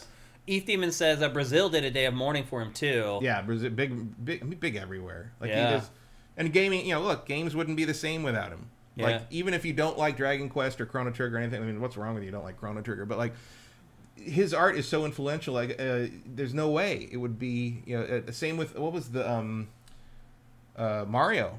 Mario is Mario's run stuff is based on art he did. Yeah, I know The- it's crazy. Like if you go Yeah. back and look at all the different Mario villains, especially in Mario Two, they're just Toriyama stuff. Mm-hmm. It's literally based on stuff he put in, in his manga. It's it's it. he's like a, he was a god. Miyamoto. Miyamoto just openly says, "I stole shit from him all through the '80s." Yeah. And like if Miyamoto says that, you know, Yeah. you know it's it's it's real. Yep. So rest in peace to Akira Toriyama. Um, our condolences to his family, Mm-hmm. his friends, all his colleagues, all his fans. Um, I can see in our chat, you guys are a bunch of Oh, fans too. Um, you're gonna. I mean, that next Dragon Quest game. Oh, Yeah. Oh, gonna Dragon be huge. Quest 12, Gonna yep. be huge. Uh, Mike Q says also the Berserk author and artist had a huge influence on our lives. Yeah, like I said, Toriyama raised two of my nephews. Literally, they're like still to this day they're like adults now Yeah, and they the- talk about it. All the Mexican cartel ceasing activity in Yeah. morning. Like like That doesn't That's happen huge. for that's huge. Yeah. So anyway, again, we don't talk about a lot of this stuff on Game Face all that often, um, and we we don't curate stories for stuff like this usually on SIFTD, but we did for this one. Um, I know. Mm-hmm. I mean, the game connection. Even if you ignore the manga stuff and anime, like, even just the game, stuff connection is- alone. Yeah. It's not like Dragon Ball games haven't been a staple of, of video games for as long as they've been there. Yeah. You know, as soon as people could start, as soon as Dragon Ball existed, they were making video games out of it. Even back on the old Famicom. Yep. So rest in peace, Akira Toriyama. Um, maybe we should have saved that for the end of housekeeping. Such a somber note. Mm-hmm. Um, we got some more information on Switch 2 maybe this week. Um, there is an old patent that we showed you guys here on Game Face a long time ago. It looked like, and I tried to dig up the images on the TriCaster, I couldn't find them, but it almost looked like a closed, like um, 3DS. It was like a, a sh- it was a clamshell designed handheld that like opened up, but then one of the screens detached off of the handheld. And somebody was using YouTube the other day. And you know how on YouTube sometimes you don't get an ad and instead you get a survey Yeah, that I immediately music. through? Yeah. Well, a user got one of those the other day, and it said, "Which consoles are you interested in buying?" And it had PlayStation Five, Xbox Series X, and Switch attach. Hmm. And so people are like, "What? Like, did YouTube ads just reveal the name of the next Switch?" Hmm. And so people were like, well, if it is the name of the next Switch, what does it mean? Then they started connecting the dots between that and this patent that we all saw like a year and a half ago or whatever for this detachable second screen handheld thing. That we, I think we kind of laughed it off. We're like, ah, that's maybe an old patent or Yeah. whatever. I mean, it, companies patent things they don't intend to necessarily use all the time. Mm-hmm. It's just to get dibs on it in case something happens. so But trying to recapture, um, it just didn't seem like necessary to try to recapture the DS again. Right. You know? But that's what it appears. This Maybe that's what they, maybe they want to recycle the DS library again. I'm just trying to figure out how it would work practically. Like I don't think it would. That was kind of why we we, we kind of blew we, it yeah, off. we dismissed it. Yeah, like we couldn't figure out how it would work basically, and I'm still not sure what the purpose of it would be. I don't know, but it is very Nintendo to think that the way to follow the Switch up is to have a, bunch more shit to stick on it. And that, I mean, like, like if somebody went back and looked at those old Game Boy ads where they've got all the lights and everything on top of it. And it's like, yeah, that's what that's what that should be. Yeah. Um, Where you basically turn it into a robot. yeah. That's right. Yeah, I am. I mean, I guess the one thing it does point to is that Switch 2 may actually have a gimmick. Yeah, I mean, I feel like one of the strengths of the Switch was that it was its simplicity. Right. Even down to the fact that you could explain what it does with one word, which was the name of the thing. Yeah. Right. And you just slam it into the dock, and Yeah. it's very e- visually people could get it. yeah, and now kind of trying to sell tons of. Ex- I mean, I felt like the accessory thing didn't really catch on with the Switch. Yeah. Beyond having to buy new Joy Cons because the fucking stick. broke. Yeah, yeah. Um, like, it's, a weird thing to double down on for me. It feels like you didn't learn your lesson from Labo. Yeah. But, no, that's, um, that's actually a good. good But who knows? I mean, who knows what this was? Yeah. Um, and look, there is people didn't do a ton. Like nobody corroborated the story and said, "I also got the ad." Mm-hmm. It's just a weird thing to pop up in a YouTube survey out of nowhere. Like, who made that? Like, what was right. Switch attach? Like, you can hear that making. It, it does sound like something. It does. It's just dumb enough to be real, right? Like, that's Yeah. the thing here. And I'm look, I'm just gonna say right now, it could be all BS because again, nobody corroborated his story. Nobody came in and said, Mm. No. "I also got that survey on YouTube" and posted a screenshot Yeah, showing that they true. got it. So there is a chance that this guy is just looking Just for attention and making yeah. it up. Um, the guy who photoshopped the cornucopia on the Fruit of the Loom logo. Right, exactly. Um, but this news did make the rounds through all the various websites. It's a thing. Um, so we were just going to bring it to your attention. But yeah, take this with a huge, huge Mm. grain of salt. The other thing I heard that I didn't know before, and maybe it's not true, I don't know, but like it was the fact that the Mario Kart for the next Switch is going to be Mario Kart 10 because they consider the the Switch release of Mario Kart 8 to be 9 Really? internally. Like they call it Mario Kart 9. Weird. I hadn't heard that at all. It's I don't know how reliable that was, but it's like I mean, I guess nobody cares. Nobody I mean, cares. nobody would care. New Mario And let's not forget, if you release that on March 10th, Mario Day, Right. and it's Mario Kart 10, Yeah. like that's synergy. That makes sense, Like I would yeah. skip a number. Just I mean, didn't hurt Final Fantasy 7, did it? we got to remember they also had Double Dash, which didn't have a number at all. Right, So it's how they've been counting them all along. Is just however they Yeah, want to count count it. So it's up to them to decide. Which number Metroid is it? I don't know. What day? What day do you feel like it being? I don't know. Like, pretty much. Who cares? Yeah. So anyway, again, take that news with a grain of salt. We just like to keep you abreast of like kind of all the news that's shaken out across the industry. Um, it's a possibility that it could be called Switch Attach. Um, just a couple more stories in our housekeeping. Next up, do you remember this fighting game called Multiversus? Yeah, I remember. It was it's a basically a Smash Brothers clone that includes all of Warner Brothers IP essentially. Um, we literally played this in beta a year and a half ago. The beta wrapped up, and then the game just disappeared. Literally, it's been completely MIA for over a year. I almost drafted this on my fantasy team because I was like, wait a minute, like, what happened to that game? It should come out this year. Sure enough, it is coming out this year. It finally has reappeared and it is launching for good on May 28th. What do you think happened with this game, Matt?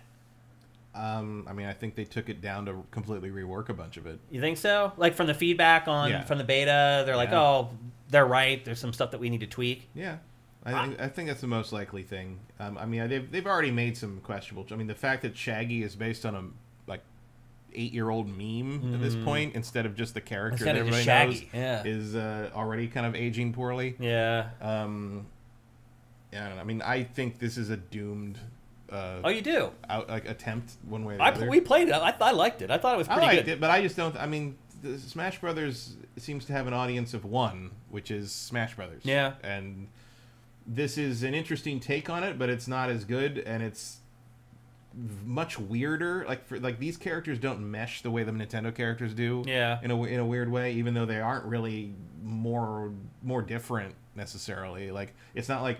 Superman fighting LeBron and Steven Universe is all that weirder from you know Solid Snake fighting Mario. No, but like you're right. for some reason it just feels like the mix is weirder. Yeah.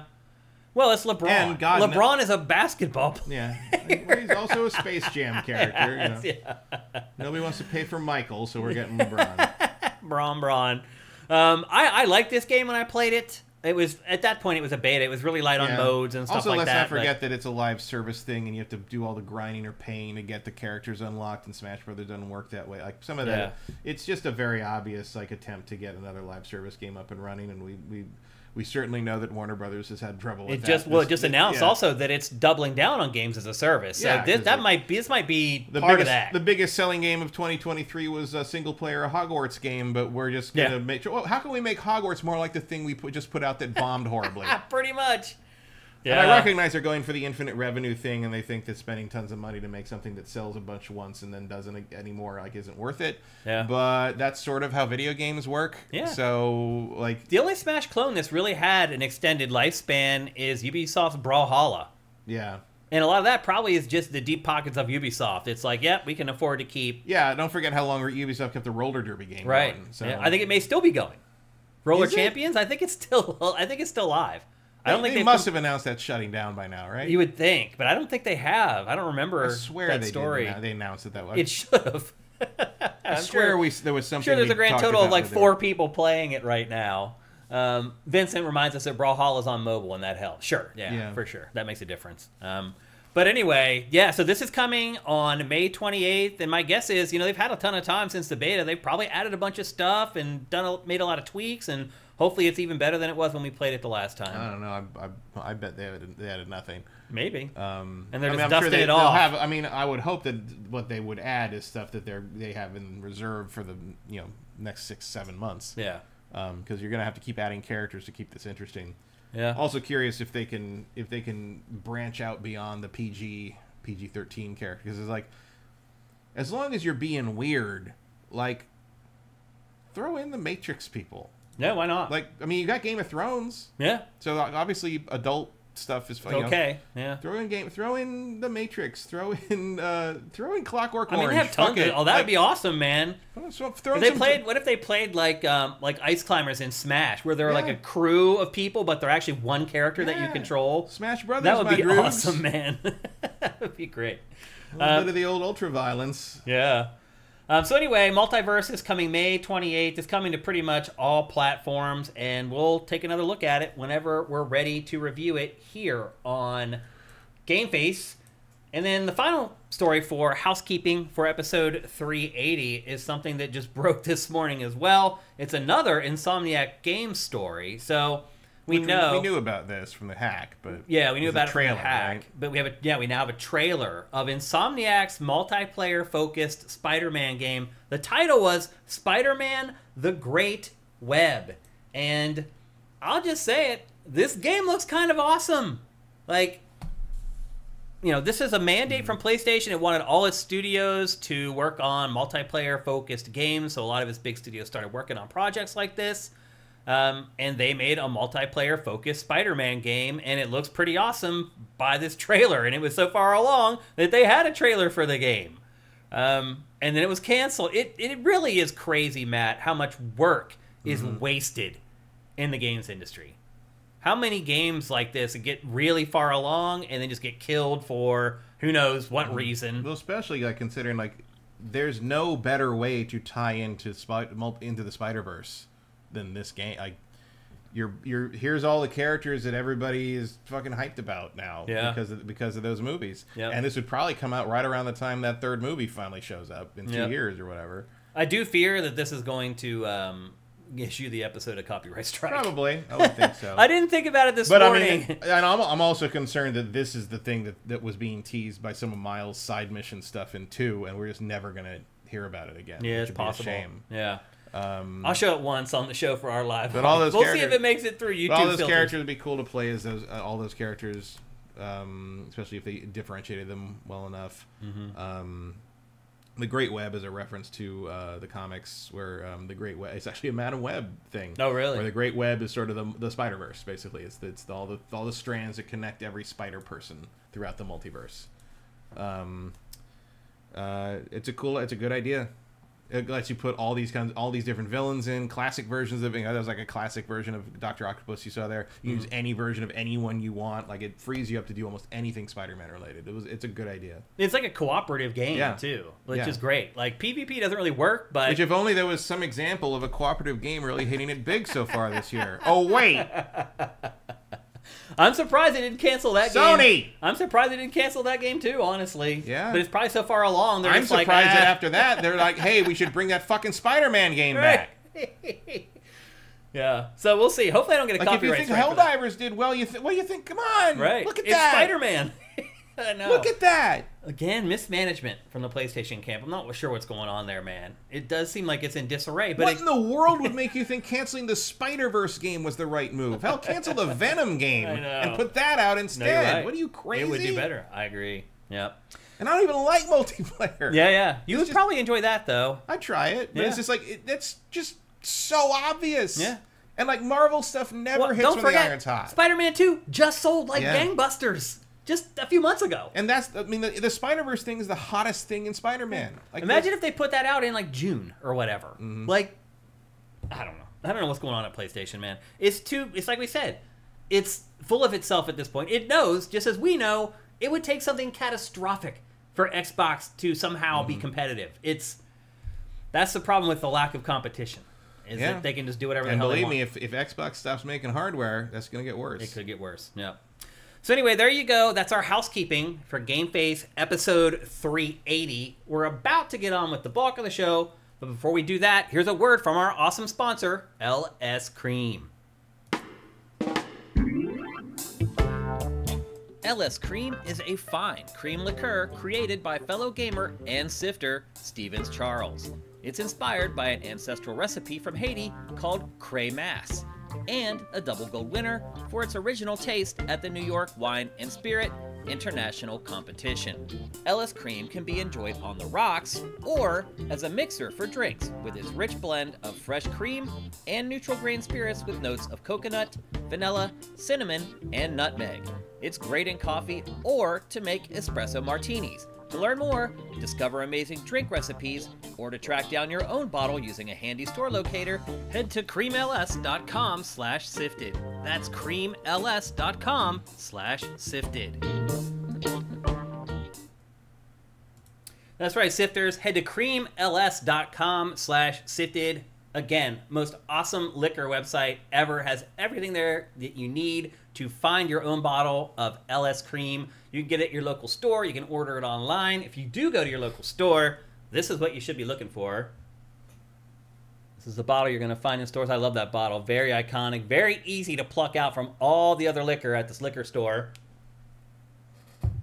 So again, go to creamls.com slash sifted. I do want to bring up that is very important that if you guys can, if you support our sponsors here on GameFace, um, and if we give you a URL that has our name in it, pre, pre, try to use that because our sponsors use that to try to figure out if you guys are actually resonating with our sponsors to keep sponsoring the show. So head to creamls.com slash sifted. If you want to buy LS Cream, um, make sure you use that URL to do it. That way the folks, the awesome folks at LS Cream, um, know that their sponsorship with us is working and they're selling bottles of their liqueur. And again, I cannot recommend LS Cream high enough. It mixes well with almost anything. Go get it. Go to creamls.com slash sifted. And with that, it's time to kick off the show proper. I do think maybe I made a mistake stacking the show. I don't know if this is the biggest thing in the show today. It was hard. It's kind of like splitting hairs with today's show. I don't even remember what happened in it, and I watched. Oh, it. really? and you watched it? Yeah. Um, well, last week, Xbox had what it calls its partner preview. And it's basically it's Xbox's chance to show off the third party games that are coming to its platforms that it's not making, that other people are making. Nintendo just did something similar like a few days earlier. We talked about that last week on the show. Um, and I will say this, Matt. One thing I'm starting to realize about this year is this year might be the year of the B tier video game. Um, so you figure Xbox showing off third party stuff right after Nintendo did. Um, they're different because some stuff just simply can't run on Switch. But I figured the Xbox event is like, okay, here's where we get the first real look at the third party landscape for 2024. The real third party landscape. What's I don't actually know why you think that why? because the real third party landscape is going to be in Sony's. Oh, maybe. That's where the that's where the money is. I guess it is. I mean, if you think about it, that's where your, Mhm. the bread is being buttered right now. Well, maybe to your point, Matt, that's why this was loaded with a bunch of basically B tier games. Um, but I think it is going to be a B tier year in a way. I mean, just there's no everything that was supposed to come out this year got pushed because the stuff that was supposed to come out in 22 got pushed to 2023. Mm-hmm. 2023 ended up having tons of great stuff in it, but no one's ready with anything this year. Yeah. Well, here's one thing I'll say though, is that at least for me, this partner preview, there were a bunch of games that caught my eye, and I was pleasantly surprised by some of them. There were a couple games that had been announced already and we'd known about for a while. There was a bunch that were just announced for the first time. But for me, the overarching theme was, yeah, these games are coming from smaller developers, but a lot of them have creative sparks that I think could maybe make them be, become something to watch. Uh, the first game we're going to talk about is a game called Unknown Nine Awakening. Um, what did you think of this one, Matt? Um, I don't remember it. You don't remember it? No, This one had been announced for a while. Um, so I heard the title, but I don't like. Oh yeah, it was um it was an indie game, but Bandai Namco picked this up for publishing. It is coming out this summer. It I don't really know what it is still. It's um it's an action adventure based on a novel of the same name. Are you familiar with that novel? Me No. either. I had never heard of it before. Um, it follows a young girl in India who has mysterious powers. Um, and that's pretty much the extent of what we know about it right now, other than what's been in this trailer. Kind of looks like Banishers, except you have more people in you. that might be a good, might be a good way to describe it. Um, I like the cultural angle of this game, but again, visually you can tell it's not from one of the top studios. I think the art style is pretty cool. I like the setting. I like the concept behind the game. Um, and again, it's showing some promise if Bandai Namco picked it up, a major Yeah. publisher. It wasn't picked up by some little indie guy. Um, it was picked up by a major fine. publisher. It just it, it kind of has uh, what was it? It kind of has um uh Psi-Ops feel A little to bit. but it just Well, it's more of like a. It feels like there's more. It's more of like a time manipulation thing. yeah, but she's also like blocking stuff and throwing things around. I don't know. She can pause Could be anything. time, freeze it's time. terrible, terrible title. Yeah, but you're right. It does have a little bit of that Mindgate conspiracy, holding the hand up and doing that whole thing. Um, this game is also coming to all platforms, and Yeah. most of these games are. They're not just coming to Xbox. Yeah, I mean maybe. I mean I'm looking forward to that Outcast sequel. At this point. Right. So we're, we're, we're in a we're in a place right we'll be now. talking about that game next week, Matt. Mm-hmm. I could just foreshadow that right now. But anyway, this game is called Unknown Nine Awakening. It's built by Reflector Studio. It's published by Bandai Namco, and again, it's coming this summer, just a few months away. Next up, a game called Sleight of Hand. This is from a studio called Riff Raff. Um, they did not show any gameplay for this game, but basically, it follows a witch that uses cards to cast spells. And she, the like the VO in this is very tongue in cheek, very funny. This tra- this trailer is pretty clever. Um, but you basically play as this girl who uses cards to cast her spells, um, and she's like hunting for her master or something like that. I can't remember what the basic plot of it is. She's like she's either hunting for her the person who like was her protege, or she's the protege, who her master essentially. Um, but again, this is a cinematic trailer. They didn't show any gameplay for it. The trailer is only about 35 seconds long, as you're about to find out. But I thought the concept was rather intriguing. Um, I do like the art style that's in the trailer. Who knows if that's what the actual in-game action will look like? Um, this game is also coming to multiple platforms. It's not just an Xbox game. What do you think of this by looking at the trailer, Matt?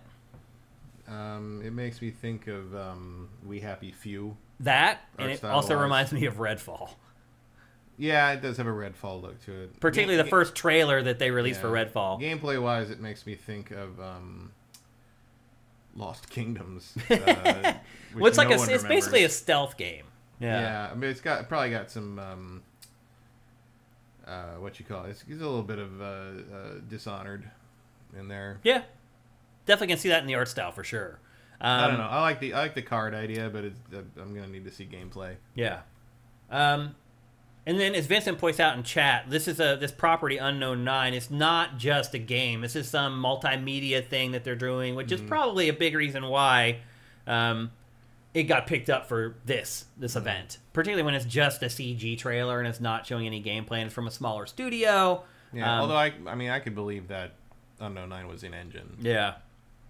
Um, so anyway, that's sleight of hand. We don't have a ton of information on it yet, but more should be coming. Next up, Are these supposed to be this year? for what? This Unknown this Nine is this year. Um, sleight of hand is not for this year. They're just showing whatever they got. Yeah, which was just that CG trailer, basically. Um, next up is a game that we have known about for a while. It's a game called The Alters. It is another one of those games where you Oh, right. clone yourself to solve puzzles, and uh, you, you basically you play as a miner who crash lands on a planet. It's basically a su- survival game set on what looks like a Halo ring. Um, there's some kind of weird substance on the planet that lets him clone himself, and thus the name alters. You can alter yourself. Um, and basically, what you can do is you can change decisions from the lead character's past um, to affect the future, basically. This is under development by the studio that worked on This War of Mine and Frostpunk. I think it's called 11 Bit Studios or something like that. Um, but yeah, the Halo ring there, the iconography there. Halo ring? Yeah, I mean, I'll just rewind it real quick. It looks like a Halo ring. Where? That big ring there. This is the facility, right? Yeah, that's where you go. That's where the game takes place mostly. Um, you're in that big ring-shaped facility, uh, but it's it's. I think it's more driven by puzzles than anything else. It's all about like cloning yourself and then using the clones to solve like, ver- you can see here to solve various um, mind puzzles. It's probably the most unique game that was shown during the uh, the partner preview. But again, it's coming to a bunch of platforms. We've known about this game for a while now. This is kind of its big coming out party. This is the first time it's been featured in like a big event like this. Before we got like a couple trailers for it and some information, um, but this is the first time it was really blown out for an event where a lot of people were watching. So now, obviously, it's on everyone's radar. Uh, next up, a game called Creatures of Ava. This looks just like Rare's game. What's it called? Um, Everwild? yeah, Everwild that we'll probably never see released. Art style looks the same. The concept seems very similar. A little more whimsical. Let's Yeah. say. But, You- like yeah. It's kind of like Pokemon Snap, really. It's like an indie Pokemon Snap. It's from a studio called Inverge. Um, and basically, you're like the Pied Piper. You have animals that follow you around, you take photos. It's a passive sort of game where you're just basically managing like the wildlife in the area. Um, Here's another example of something that like Nintendo could have done this already if they wanted to, but they chose didn't. to. Yeah, for a reason. yep. But this game, I think it looks pretty good. I don't know if the Xbox market, this is something that that market is pining for, but I mean, you never know. Weirder things have hit. well, what's weird to me is that this game is in Microsoft's thing, and Everwild, we haven't seen it for like three years. No, they didn't know what the game was last time we saw that. Um, so anyway, again though, this is a unique game that isn't like a lot of other games, uh, and it definitely not like a lot of other Xbox games. But it is coming to other platforms as well, like pretty much everything else in this presentation. Next up, we got the release date for the Sinking City 2. This game looks like a Silent Hill ripoff to me. Did you play the first Sinking City? Yeah. What I haven't played it at all. What is it It's like? a it's an open world kind of act not open world, but it's an action RPG. It's very detective focused, very puzzles focused. So you have to Mhm. like uh, find. Uh, there is shooting and killing things, but like the most of the action is going places and investigating them. And he has some ability where he can see what happened. You know, kind of kind of uh, kind of like Banishers. okay. Uh, but you can you can kind of see what happened, and it's like like the first thing is like you find this dead guy, and you kind of look around through the, the, the spirit realm or whatever. The, the you can see the past, and you see like these guys ran off this way, and you track them to a warehouse and figure out who it is and who killed him and what. It's that kind of thing. And Okay. so you're kind of a you're, you're a private detective, and you're also you're trying to solve.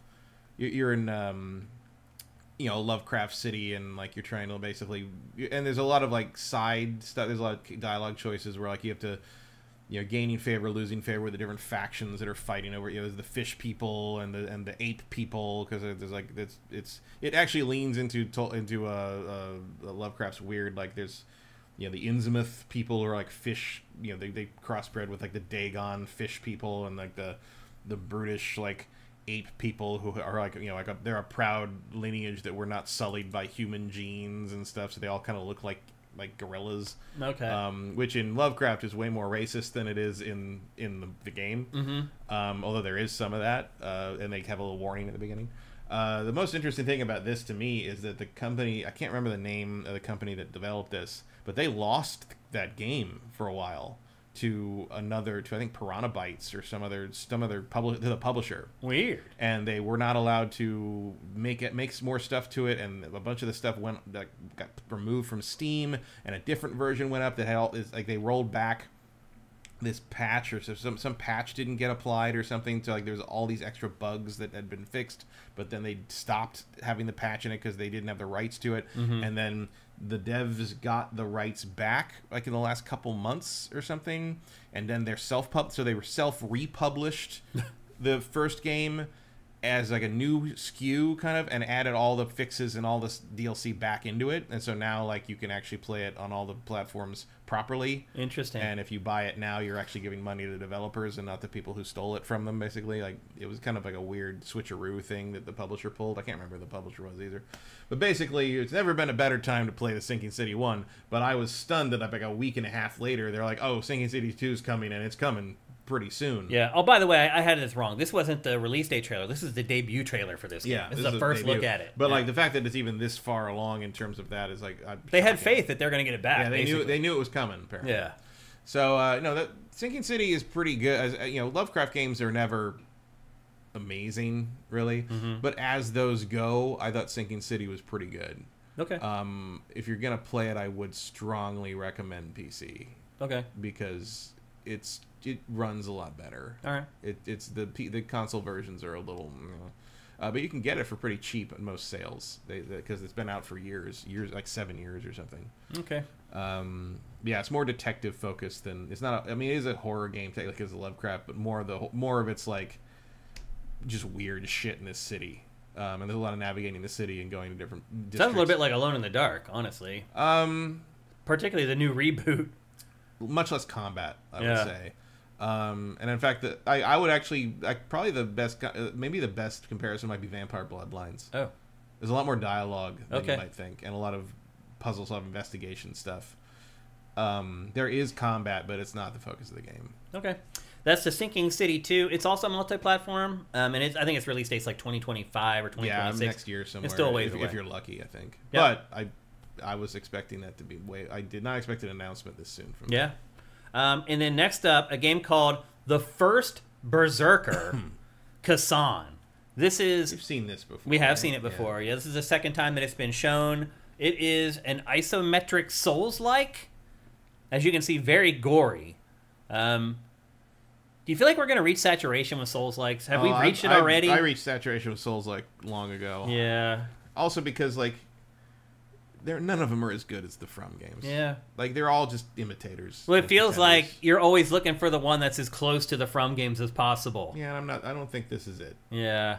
Um, there's nothing striking about this game that makes me remember it, other than the long white ponytail, the Yeah. long white hair. He's got a memorable design. I guess the kind of the slightly cell shaded look is different. Yeah, the art style's a little different. You're right. I mean, honestly, it just reminds me of Berserk, Which- uh, which is makes very sense. similar. Yeah. Which makes me wonder, like, why don't you just make a Berserk Souls like? Yeah. Um. Yeah, I don't know. It's it's big monsters and parrying. Like, I will say I am surprised that you're not into the Souls likes that much. they take a long time and they're a big time commitment, and none of them are as good as From's. Like, you're like, why would I? Why wouldn't I just replay one of those? Yeah, I hear you. Like, it's not worth it to me. I mean, I still have half of Elden Ring to get through, Mm-hmm. and I'll probably never get through it. So it's I'm gonna always have that there for me to go back to if I get an itch to play these games, which with me doesn't happen all that often. To be perfectly honest, they're just not really my forte. Um, but that game is also coming to a bunch of platforms. It's not just an Xbox exclusive, just like all the other ones. Um, and then we did get a release date trailer. It wasn't for the Sinking City 2, it was for Frostpunk 2, and that's why I got the two things confused.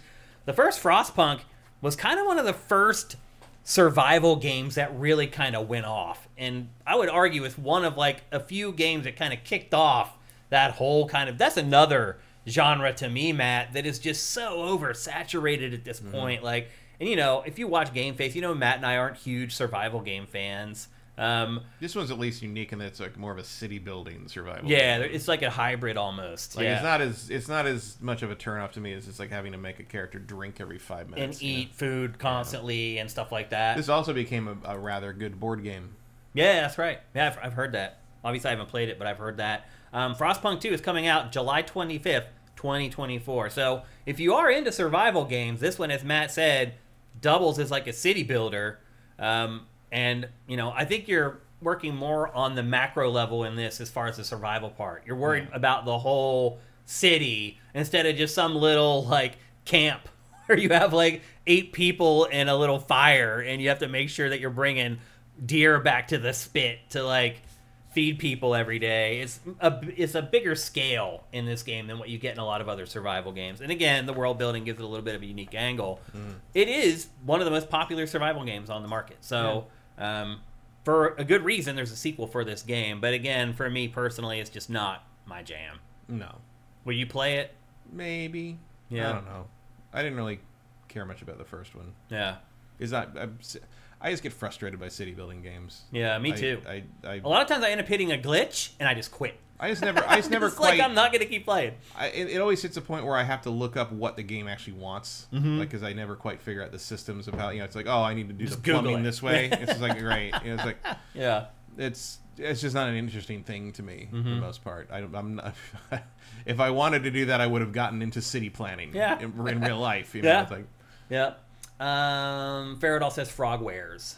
yeah. that's the that's the sinking city people. Yeah. Frogwares and uh, the publisher was um, Big Ben, which I've never even heard of. I don't think beyond I've heard that. of them, but they're not a big indie No, publisher. they're not. They don't release stuff very often, for sure. They feel like it feels like they faded over the last. Well, maybe Five because years. they sc- keep screwing their people over. Could be. So, but Frogwares has it back now, and everything's okay. Yeah. Go, go get go get Sinking City One to support them if you can. Okay. And then the final game that we're going to mention here today from the partner Xbox partner preview is a game that is right on the fringe of being worth mentioning. It's a game called Monster Jam Showdown. It's a monster truck racing game. Well, here's one of those games that they don't make anymore, like you were Yeah. saying earlier. Well, Monster Jam is the franchise. So the Yeah. last one came out like three years ago, but you're right. It's the only franchise left where you can race monster trucks, and it's and as you can see, it's not a great looking game. Um, and this isn't just about like racing. You also have like all the arena events where you do like goofy freestyle tricks and all that kind of stuff, as you can see in the B-roll. Uh, but this game is literally coming to everything, even Switch. Um, and I think it's coming here in the next couple months as well but that's called Monster Jam Showdown. And then they announced a couple other things that we just mentioned in brief. Uh, Roblox, there's like a Chucky, like Roblox DLC, like Chucky the little doll murderer, like Yeah. Roblox DLC. you know, something for the kids. uh, they announced the I mean, release. he does fit with that art style. I He kind of because he looks like ass, pretty much. Um, Final Fantasy 14 is launching on Xbox March 21st. Mm-hmm. So we have like 10, 9, 10 days from right now uh, before that's finally launching. Something Xbox owners have waited for for a really long time. Uh, they shadow dropped the Stalker collection, the original Yeah. trilogy Stalker. which Um, is uh, not great. yeah, Um, it's two reasons. Par- partly, there's a lot of crashing. There's a lot of problems. Clear Skies, in particular, is unstable as all hell. And how- always has both- been. On, yeah, always has been. Yeah, I mean, Yeah. on both both plat on PlayStation as well. Mhm. Um, and they, apparently they are going to implement mod support eventually on the consoles, but right now you're just playing vanilla Stalker, and um, vanilla Stalker sucks. Um, Yeah. you, you there's almost no one in the Stalker fan community that isn't playing with at least some rebalancing mods. Yeah. Like you really need. they're hard. These games to- are hard, They're hard and they're hard for stupid reasons. right? Because they're Like kind of the- busted. like the the the damage uh, and and life in the in, of the enemies in the player like, like it's actually easier on harder difficulties in some ways because basically the the the damage is higher but that means you can kill things quicker Right. so like yes you're taking more damage but a headshot's going to kill anything so like what do you want you know Yeah. a lot of stuff like that um, if you're going to play the stalker games and you haven't already uh, go get the pc version and, and look up a mod guide and play it that way because there are some people who believe that you should have to play vanilla Stalker to earn the right to play the modded version, and those people are mean um, and should not be listened to. Like st- the best Stalker experience is going to be modding the Stalker games into whatever you want them to be. Okay. They are frameworks; they are not finished titles. And that's available now for PC, PS4, and Xbox. And then a couple more announcements. Uh, they made an announcement for Persona 3 Reload DLC. There's an expansion pass now coming in three different waves, and it all finishes by September 2024. But they're not adding the female main protagonist, so Yeah. fuck them. That's weird. The other thing too is that He they gave said, some excuse as to why they, it was too much work or something, and it's just like That oh, makes no sense. The whole reason anyone wanted a pers- big Persona 3 remake was to have all the Persona 3 content in one package, Yeah. and that's partly her. Well, they also said it's that they really weren't- dumb. they said they weren't planning on doing any DLC at all. And then Yeah. the game sold like gangbusters and did huge on Game Pass. Yeah. And they're like, oh, we're gonna do it now, It's Atlus's fastest selling game of that franchise ever. which is crazy to me. So maybe you should take the extra time and effort and put the frickin' Yeah. female protagonist, like make it in parody with the PlayStation Portable one. Like that's what people wanted. They wanted makes to, to me- they wanted to be able to have that and the portable one and the answer and FES uh, all in one package. Yep. That's the complete Persona 3 experience. yep. Deliver it. Yeah. Uh, so anyway, that again, that all that DLC is wrapping up before September 2024. It'll all be done. And then they showed uh, Tales of Kenzera Zau, which is on Matt's fantasy team, Mm-hmm. side-scrolling 2D Metroidvania action game uh, with some interesting cultural angles to it. Mm-hmm. We've been championing that game since we first saw it, um, and they did show it in this big event, which was great. It's good Yeah. to see it get some FaceTime for an event like Any, this. anytime you want to make games based on mythology other than Norse, Greek, Roman, and Japan, go for it. Because Because those I'm are all overdone at this point. Um, and that's it. That is the Xbox partner preview for March 2024. What's your letter grade for it, Matt? Since I barely remember it, I'm going to say C minus. Yeah, I I'm struggling with the grade for this because I'm really wondering if like this is as good as it's going to get for this type of stuff for 2024. I think more it's as good as it's going to get this time of year for it. That could We'll be. see more in June. Yeah. Um, back half of the year is going to be stronger, I think. I'm a little surprised Xbox did this with these. it does games. seem to be like I, there's Hasty. nothing. There's nothing in this that would make me say like, we got to tell the people. Right. About, you know, We need to do an event none of it seems to be like very little of it is like immediately coming out. Yeah. It's like, do I need to know what Unknown Nine is right frickin' now? No. Well, these were games that normally would be tacked on to the end of an Xbox thing. Mm-hmm. Whereas, like, here's the last few games you might want to check out, like, after they show, like, the big blockbusters. But I just feel like 2024 just might be that way Yeah. for across the board. So we'll see. I hope I'm wrong. Uh, but we'll see. I don't think you are for the first half of the year. But I would give this. I mean, I'm right there with you. C minus, C, best case scenario. Like, there's just there's nothing. As you you couldn't remember a single damn game from it. No. Yeah, I remember when the B-roll hit. Right. All right, that. It's just, Yeah. it just, I mean, that was like a. But nothing a- stuck. almost a full week ago. It was, it was forever. But it's just no. I It just left my brain the Yeah, instant yeah. I saw it. Yep. So there you go. That's the Xbox partner preview for March 2024. Next up, we're going to talk about a game people have been flummoxed by ever since it was first announced, including us, and that is Princess Peach Showtime for the Switch. Also on Matt's fantasy team, I would add. Yeah. Um, we really we saw it, made a bet on this one. yeah. Let's see. We uh, well, I think you may be encouraged by what I'm about to say. Um, so we were confused. We, we saw it was like a, just a 2D platformer. Is it a Metroidvania? It would show these weird flourishes of her using like a ribbon and almost like magic, but then it would show her like running sideways and attacking people with swords. We're like, what in the hell is this game? Well, there is a demo of this game right now on the Switch eShop. Um, and you guys can all go and download it and play it if you want to, but that's what I've played. I'm going to share with you what's in that demo right now. And Matt, the first thing I will say is that this game is equal parts WTF and oh, I get it. Mm-hmm. So basically, the plot of the game Princess Peach finds a flyer to this theater, and the theater, you can see, you're seeing it right now in the B roll, has a bunch of different plays all going at once. She and her Toadstool crew go to the theater to only to find out. Because Mario doesn't do that shit. right? Mario's too busy playing 4,000 sports. Well, one thing I will say about this is that like her last game, if you a lot of offshoots from Nintendo, a lot of times the objective is to save Mario. If mm-hmm. Mario's not in the game, he's the person that you're saving a lot of times. Princess Peach's last game was like that. She was saving Mario. In this, That is not the objective of the game at all. It's just a disastrous night out. it is kind of actually. So Peach and the Toads go to this theater. She gets there. She finds out that this dude called Grape and his minions called the Sour Bunch, literally Grape and the Sour Bunch, have taken over the theater and they've turned a, all the theater's productions are supposed to be lighthearted comedies, and instead Grape and his crew have turned them all into tragedies. Eh, theater kids. Pretty.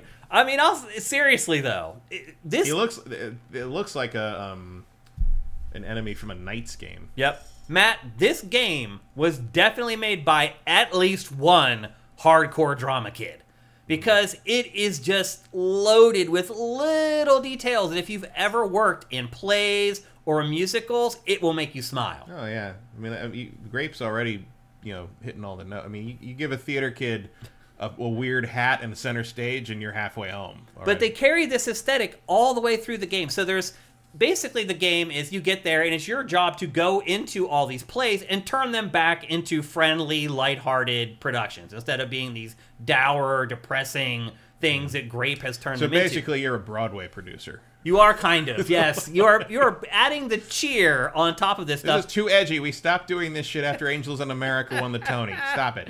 So you're basically each so right now you're seeing you're in this little hub world. It's a lot like Super Mario 64, mm-hmm. honestly. I believe that's called a lobby. yeah. For for once, very accurately called a It is a lobby, yeah. And so there's doorways off of the main hub, and you just go into those doorways, and that takes you into each one of the What kind of crazy ass theater has this many stages? Well, it's not just the stages. Eventually, you unlock another floor, and then there's more mm-hmm. stages on that floor. And basically, you go into each one of these, and Peach will have a transformation for each play. Um, she has, I didn't count them. It's better not turn out to be a dream. I don't think so.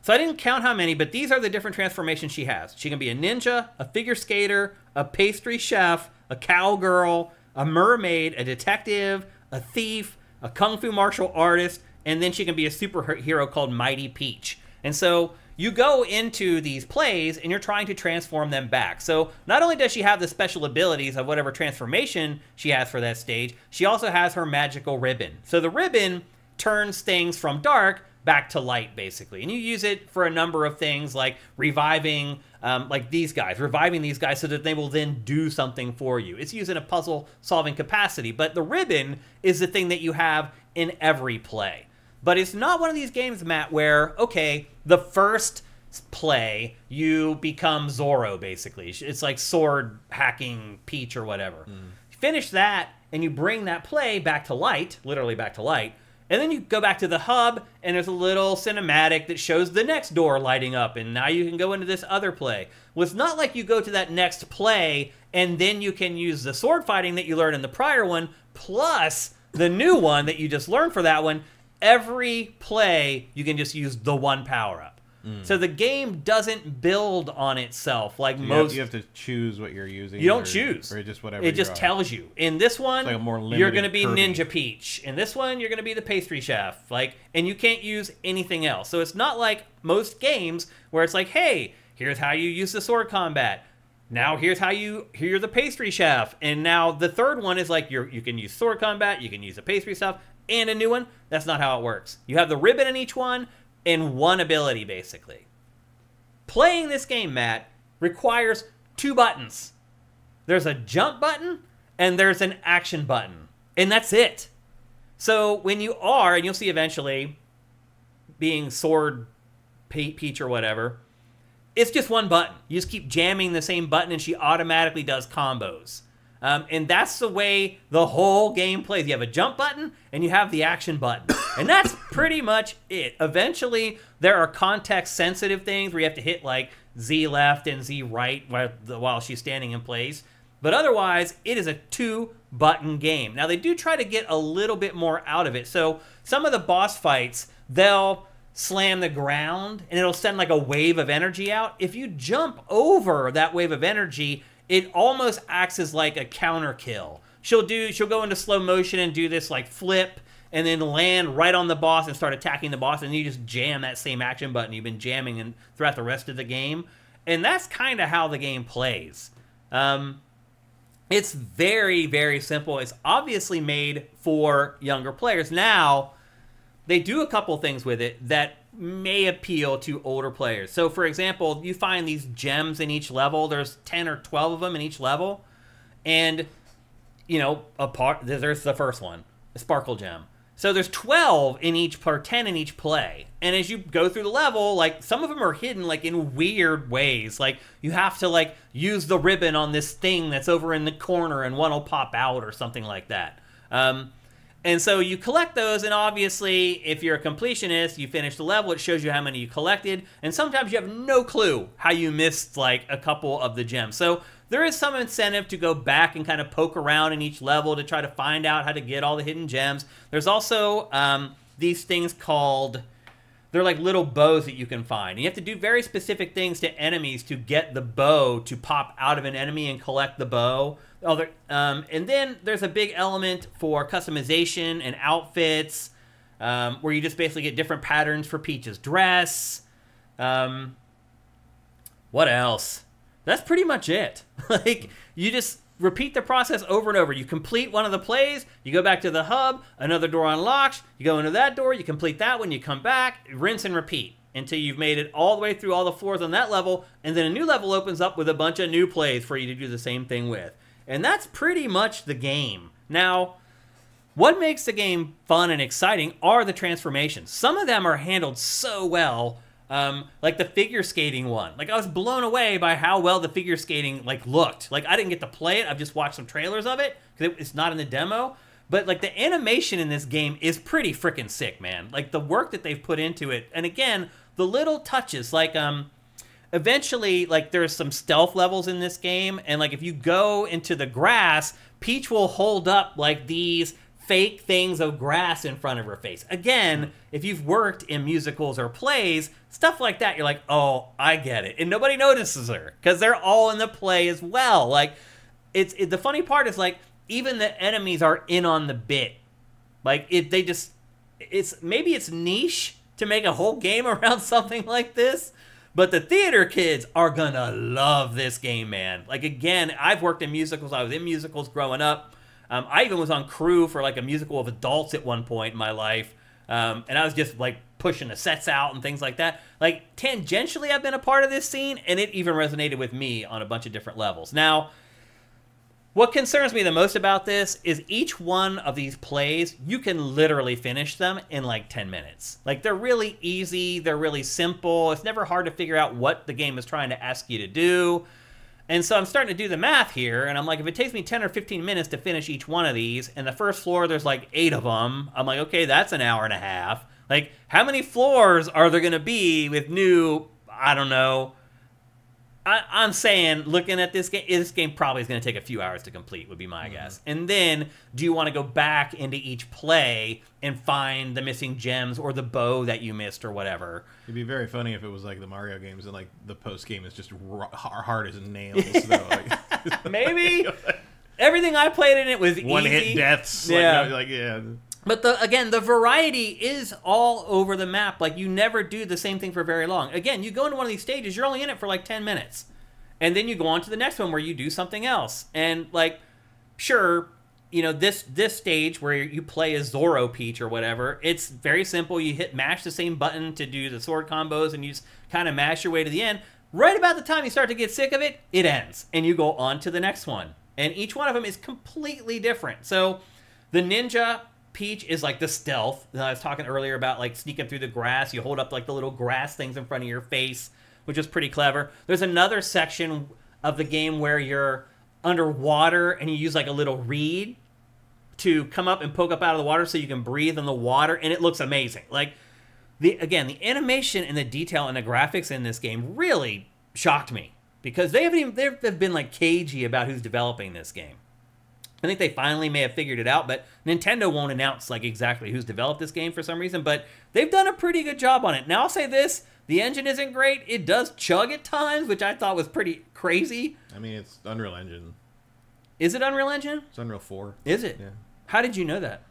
I read something about it before, and then Vincent just said it uh, in the chat as well. But I knew that. I I don't remember why I know that, but I do know that. Yeah, it does slow down every once in a while, which is a little odd. Um, so anyway, it's the, it's the Switch. So yeah. So anyway, ninja is like stealth. The figure skater is literally just figure skating on ice, and you have to like complete like s- like skating patterns on the ice.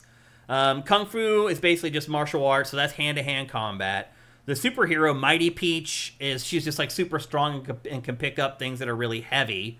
Um, the pastry chef one is probably the biggest outlier because it, it becomes almost like a mini game collection. It's almost like Mario Party, where you're creating literally creating desserts. You're icing desserts. You're uh, you're mixing things in a bowl and creating like these pastries. You have to then load onto carts that take them out. Um, it's stuff like that. Then there's a cowgirl Peach, and that plays like the old Atari 2600 game Stampede. You remember that? Yeah. where you're on a horse and you're trying to get the cows before they go they run past you. That's how Cowgirl Peach plays. Should have had a like a Godfather Mafia section where she became Cup Peach. that would be great. They don't really. The one thing I will say about this game, they don't. There's not a lot of like inside jokes for adults in this. They keep it pretty young, pretty much across the board. There aren't many nods for like the parents that might want to play this with their kids.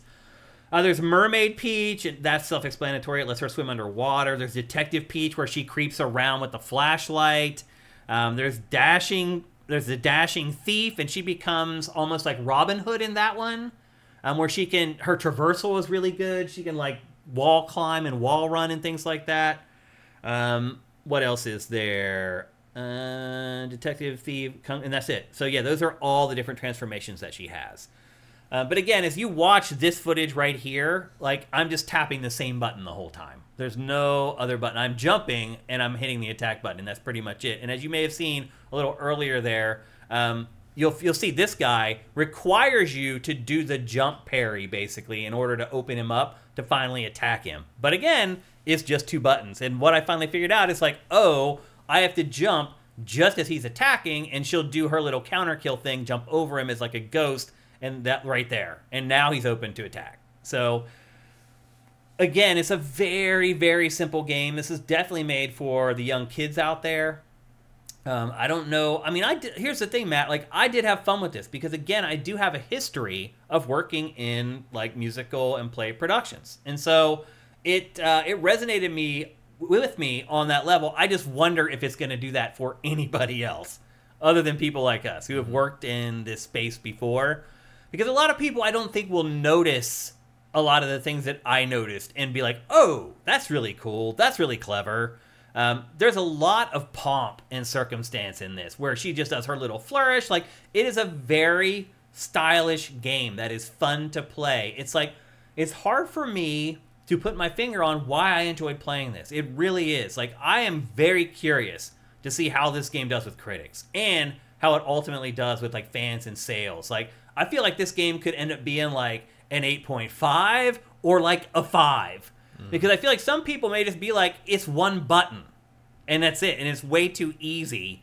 But some people are going to be like me and be like, yeah, it's one button, but they, they're pretty clever with what they do with that one button. And if you understand what it's like to work on plays or musicals, it's kind of brilliant, honestly, some of the stuff that they do in the game. So it's I think it's going to be polarizing. I think it's going to be really interesting to see how this game is received. It is coming later this month. It's just a couple weeks away. We will review this game on Game Face because I only got to play two of the plays in the demo. And again, there is a free demo on the eShop right now.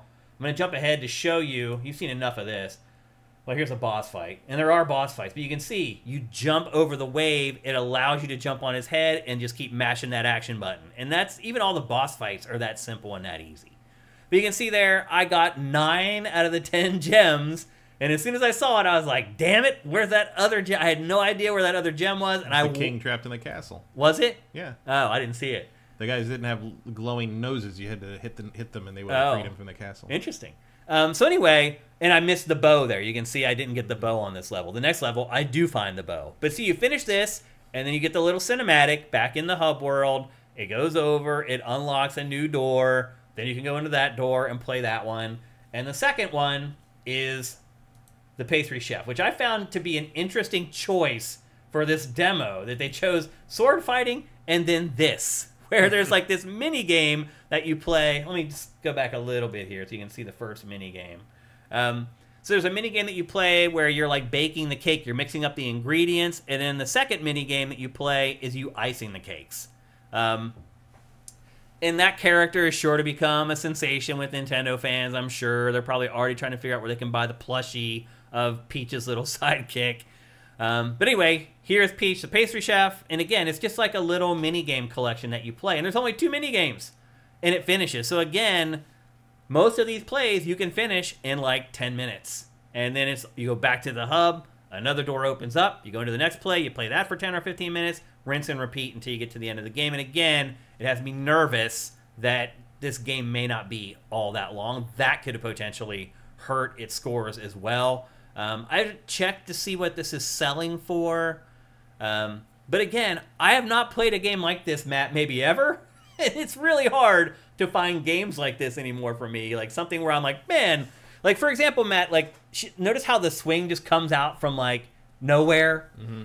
I mean, again, it's related to like working in production with plays. There's just little stuff like that throughout the entire game.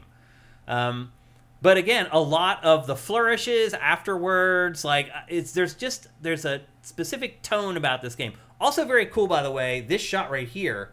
Those cakes in that shot are the cakes I decorated. So you can even see the cakes that I screwed up. The screw ups are on those cakes. That top left, look, it's not finished. Like it's missing like one of the Oh, ribbons yeah. because I screwed it up. Like there's just if you really pay attention to this game, there's stuff like that all through it where you're just like, wow, like the attention to detail is amazing, but I'm gonna finish this game in like an hour. like so it'll be interesting to see what the reception to this game is. Um, they got the tone right, and I'm cool with like how they've treated Peach as a character. She's not like the damsel in distress. She's an ass kicker in this. She's the leader. She's the one everyone's looking to to save the day. Like we need more of that type of stuff in the industry where female characters are the heroes and the real heroes, and not the damsels in distress just waiting for some male character to come and save them. So.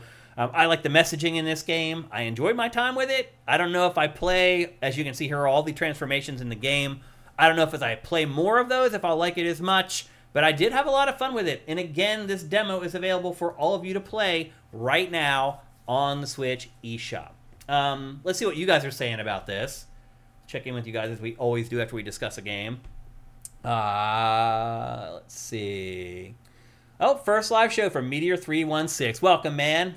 Glad you can make it. We're here every Tuesday at 1 p.m. Pacific, 4 p.m. Eastern. Um, Vincent says, oh, he's talking about the Xbox show still. Um, can you tell Matt to play Unicorn Overlord ASAP? Well, we will be talking about Unicorn Overlord here in just a few minutes, Lestevid. too late. yep, he already has played it. We're going to discuss it here shortly. Um, Vincent says, yeah, that was annoying. I was just tanking the shockwaves on the boss since the game was generous on the hearts, and it wasn't clear that would progress the fight. Oh, another thing I should mention too is that like you eventually do get like little like buffs or whatever. Like I had a buff that gave her an extra three health hearts or whatever, and I got that just in the demo. So I don't know what other stuff you'll be getting as the game wears on, but I did earn that just in the demo. Uh, Vincent follows up. He says, This reminds me more of a Kirby game focused on collectibles, variety, and gameplay extremely easy. Yeah, I guess a little bit. And they don't have a Kirby game this spring. That's so- right. And usually it's Kirby game, Usually Kirby, Kirby, game. Kirby game. We're waiting for Kirby that next game. wave. the Big Smoke says it reminds me a bit of Luigi's Mansion 3. Uh, In terms of image quality, Yeah. yeah, I can see that. um, and a kind of a room by room design. I can Mm-hmm. kind of understand that as well. It's kind of like, a little bit of like a modular design game where it's just kind of all these parts that are snapped together with a hub.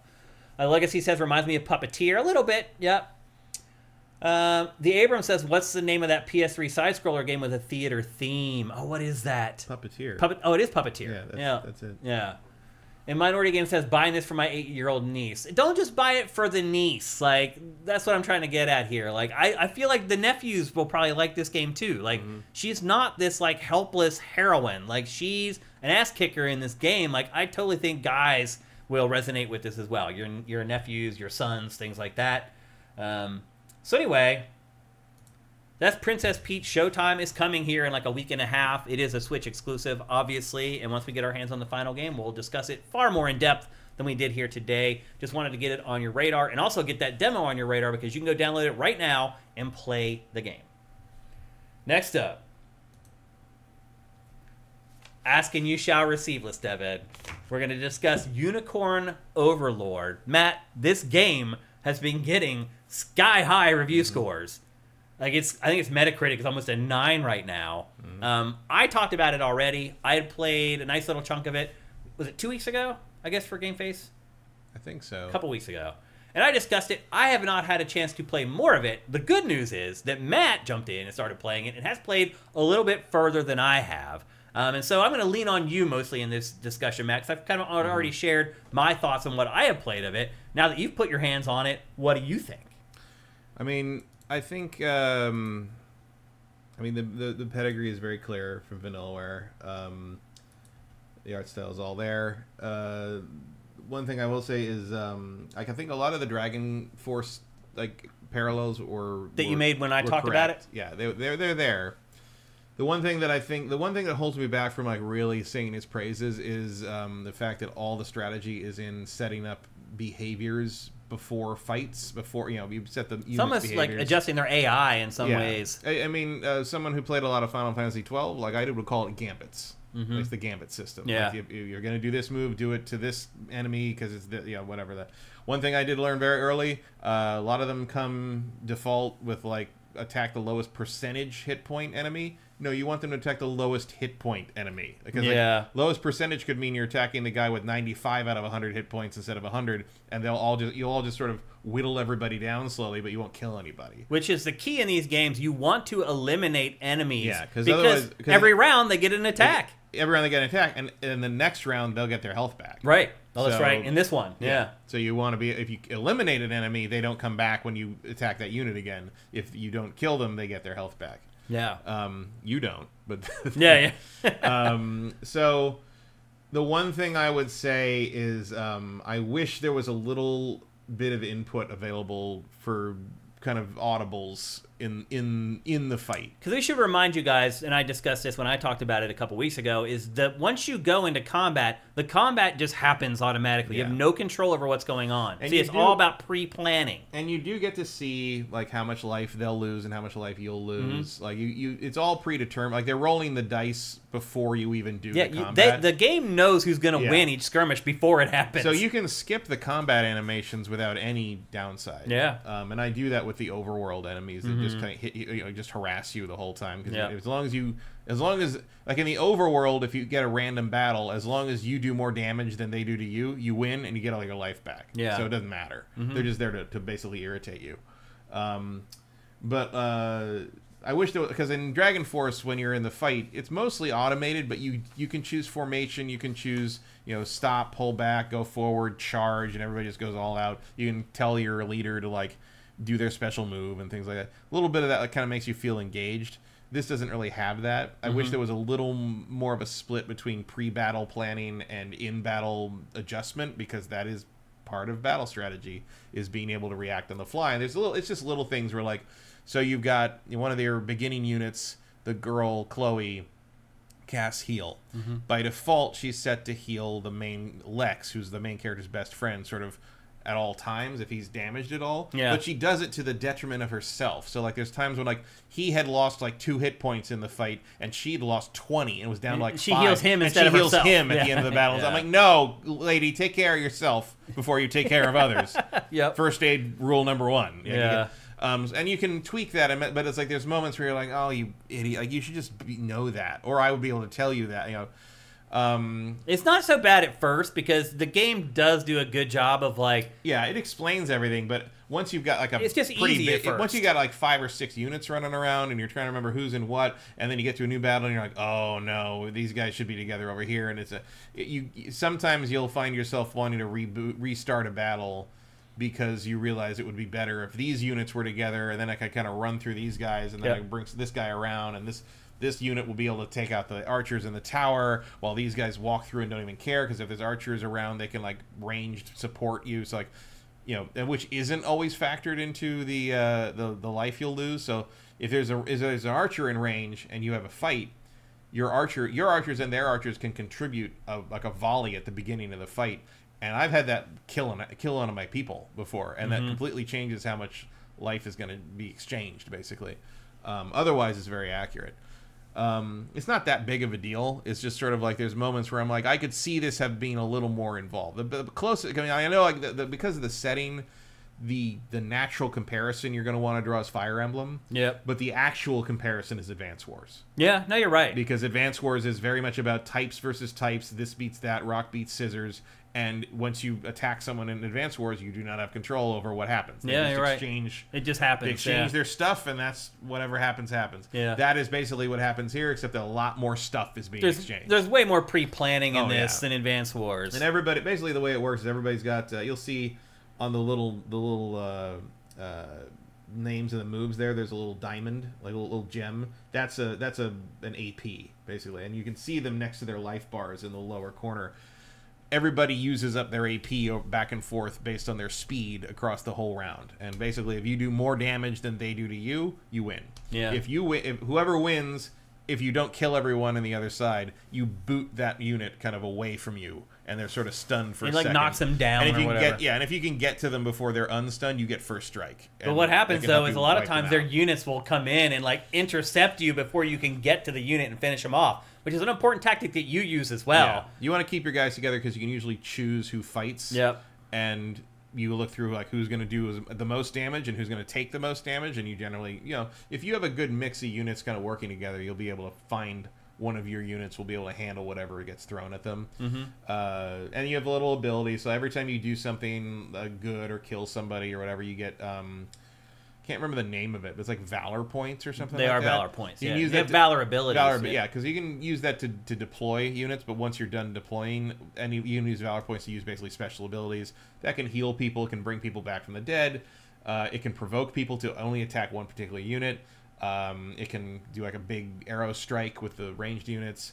Um, there's a lot of variety. You can oh, and there's a stamina thing where you'll see like a number next to their their unit on the over on the little map, and every time you do anything like a, a fight or whatever, it drops by Mm-hmm. one. If it drops to zero, the, that unit has to sit there defenseless and rest for like a an eternity. Oh basically. man, it's brutal. Um, like you really gotta you get caught that. out, you're screwed. Yeah, and you can. There are abilities that let you add give stamina back to Yeah. which is very important. You really have to watch. Um, that's that's the one thing I learned in my time with this game is watching the stamina is Yeah. really important. very important. And the other the other thing that, that my my biggest gripe about this game is that it has a time limit on the Yeah. battles. Arb- and it's very they're very short. They Like the- are, yeah. Because you can pause it all. You can make all the decisions while it's paused wherever you want. You can only unpause it when you want. So it's not like you only have that amount of time in real time to Yeah. do. But in, when you once you unpause and everybody starts moving around and stuff, that time limit starts ticking down, and it's like two minutes. Like you gotta.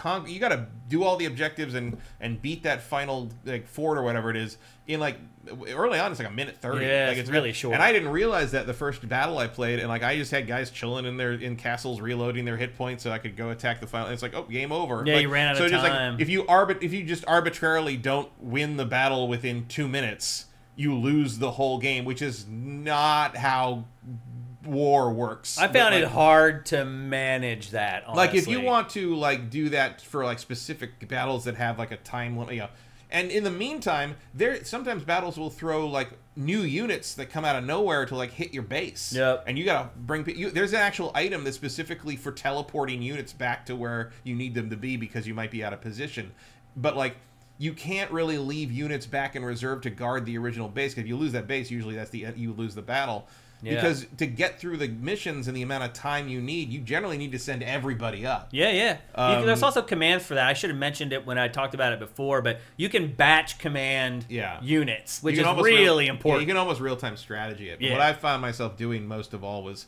picking each unit and see, and you go to in the in the pause, you go to like click them attacking each unit that's a, the enemy and see who they can do the best against. Yeah. and sort of send them up in sort of a group to sort of work around that and hopefully nobody runs into something that kills them too quickly and It was hard for me to balance the.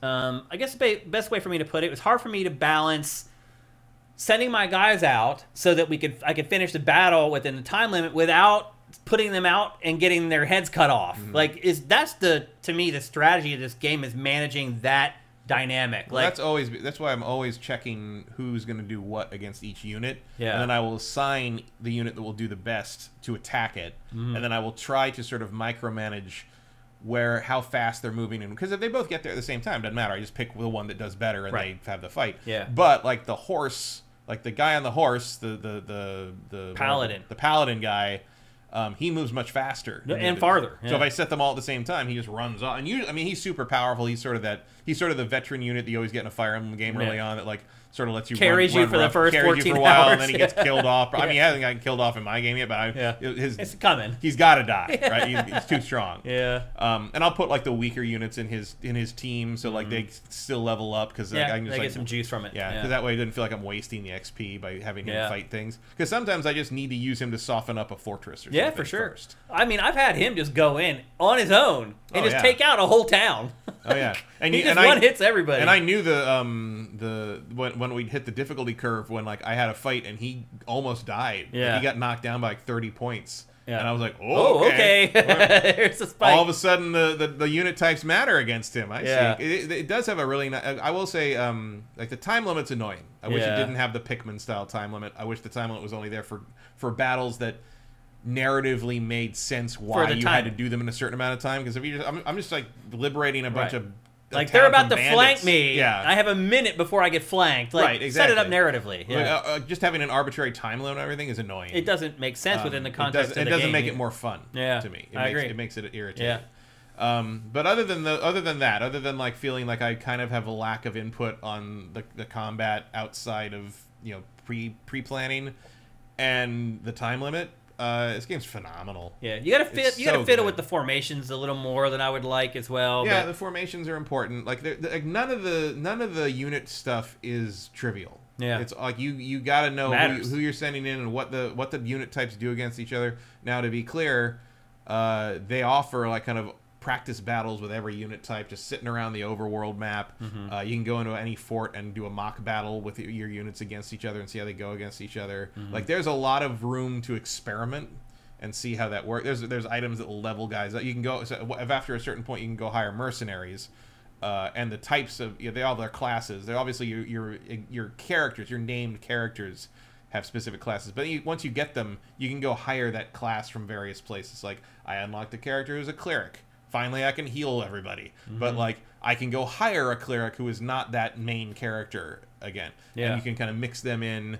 And I've done that. And you can you can choose. It, uh, this is one thing it has over Fire Emblem, I think, is you go in and you can choose all the details of that mercenary you're hiring.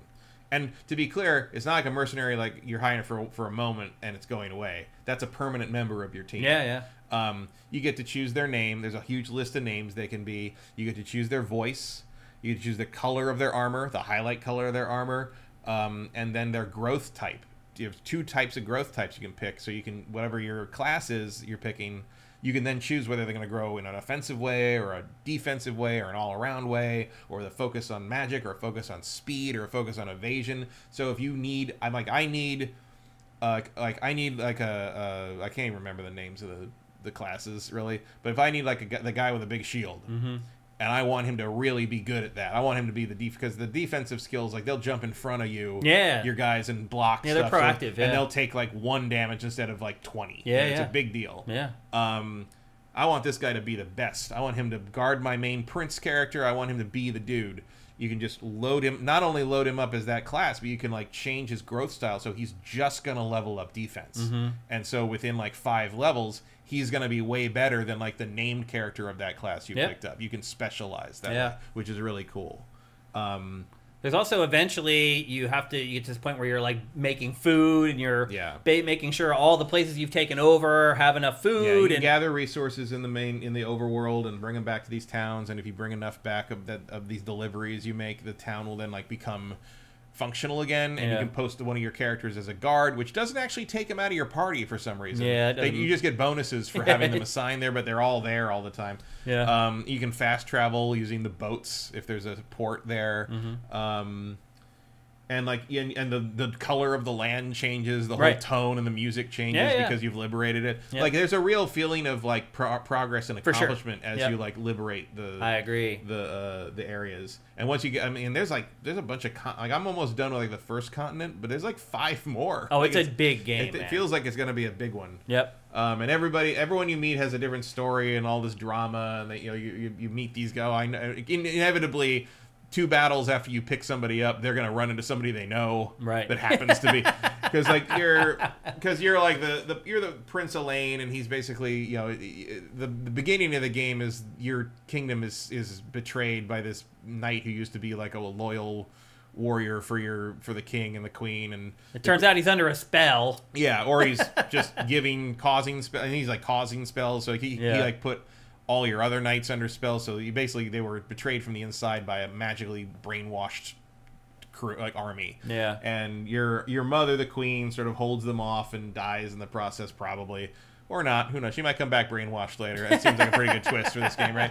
But he Yeah. give, she gives you as a baby to, or a child, a young child, to Her the, the paladin here, Josef Yeah. and he takes you to another continent and he raises you there. So like ten years later, you're like eighteen, and now it's time to go back To and, ascend to the throne, And, and, yeah. and, like uh, I think a bunch of the bad guys show up on your your idyllic island, and you have to fight them off. And you're like, Yeah. well, they know we're here. We might as Yeah, well go they back to the mainland yeah. and just like and it's a very thinly disguised Europe. Yeah. If you look at the Oh, map. yeah, yeah, for like sure. you're, you're you're you grew up in England. Yeah. little England up there, and you're going back to France to Yeah. liberate this from the magic, evil magic, brainwashing night guy. Yeah. And everybody's real happy to see you. Yeah. And it's like it's very pleasant, and everybody talks like some sort of like Shakespeare Game of Thrones character. And it's like it's like verily we must ask for thine help. Kind of it's like it's, Yeah. and it kind of works. I think it Like- works, Like there's a density to the to the character work that I think mostly comes across like.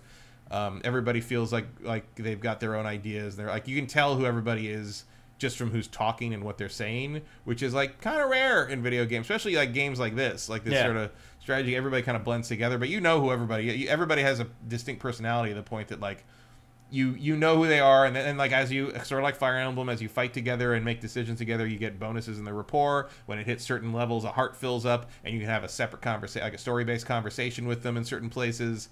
I mean, it's all there. It's all there. It's all Yeah. there. Every kind of imagine, I mean, any kind of like weapon you can buy, every kind of accessory you can trade around.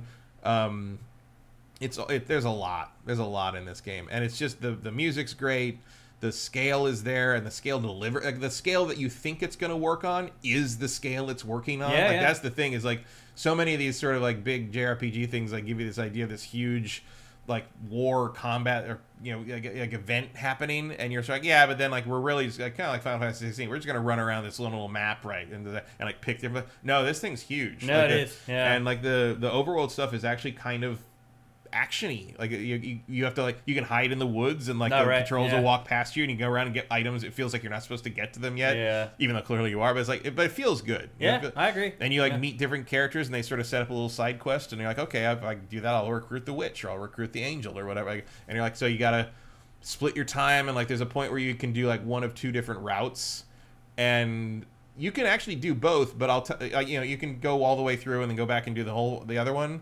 i'm going to tell you to start both until you recruit the characters that are re- relevant to each of those routes because then you can use all those characters Right. to go through To both and of those finish 'em. routes Yeah, like, yeah.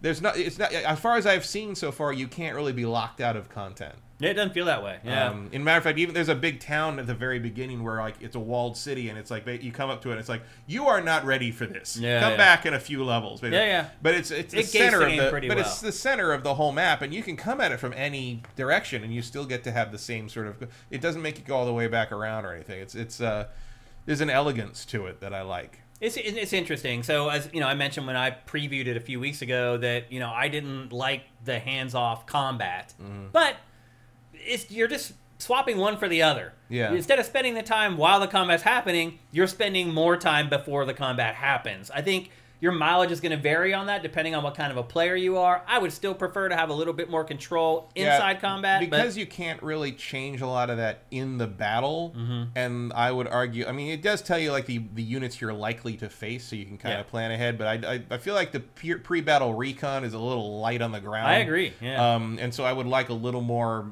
I, again i just want uh, i would like a little more ability to audible yeah. even if it's not in the actual you know fight if it's just on the ground But you can still set up a system for audible. Say if this hap- Yeah. if X happens, then I want to do Y. Right. But it doesn't really. But sometimes you just don't even know you can do that until that until that happens, and you're like, well, next time I'll set that up. But also, a lot of times you're you don't you can either have this this move fire off for this, or for this, and it's not both. Yeah. And you got to decide which one's more advantageous. Usually, I set I set almost everything. You just attack the lowest HP enemy. Yeah. And that tends to get me through. Yeah, it makes pretty sense easily. because you want to eliminate someone from the yeah, fight. the most intricate like stuff I've had, like equations I've had to set up have been the healing spells. Yeah. Like you, like the game.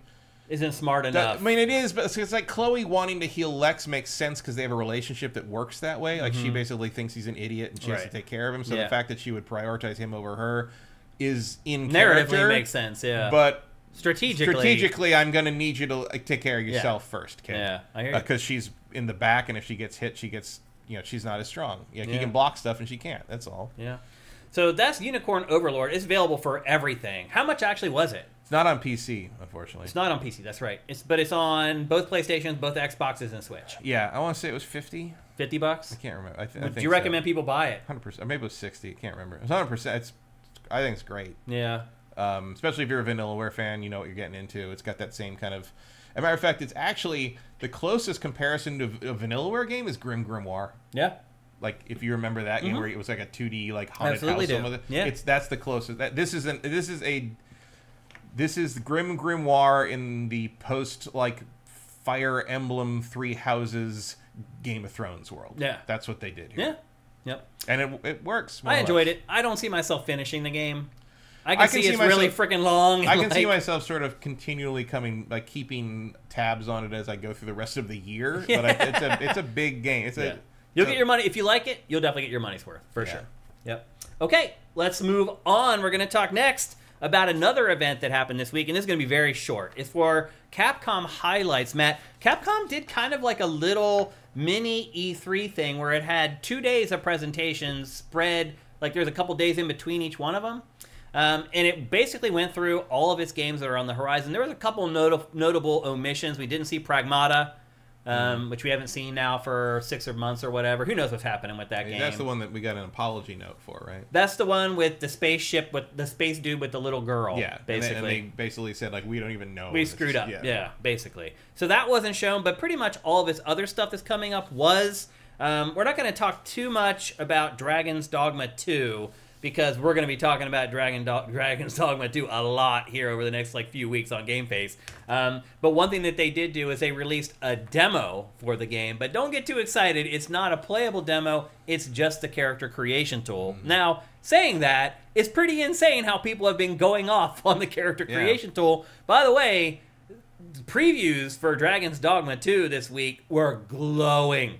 Like game of the year candidate style previews. So might want to earmark that one and start following it on SIFTD right now because it looks like we got one coming in hot here with Dragon's Dogma 2. But we're going to talk about that a ton. Um, we're going to talk about some of the other stuff that Capcom showed. Um, the big highlight here is Kunitsu-Gami Path of the Goddess. It is this strange game that we got a first look at probably like eight months ago. And we were like, what the hell is it? Well, now we know what it is. So it is basically a reverse tower defense game. So instead of being the defender like you normally are in tower defense, where you know lines of enemies come walking down the path and you set up units on the side of the path to take them out, you're the ones coming down the path. So your job basically, the game is split into day and nighttime.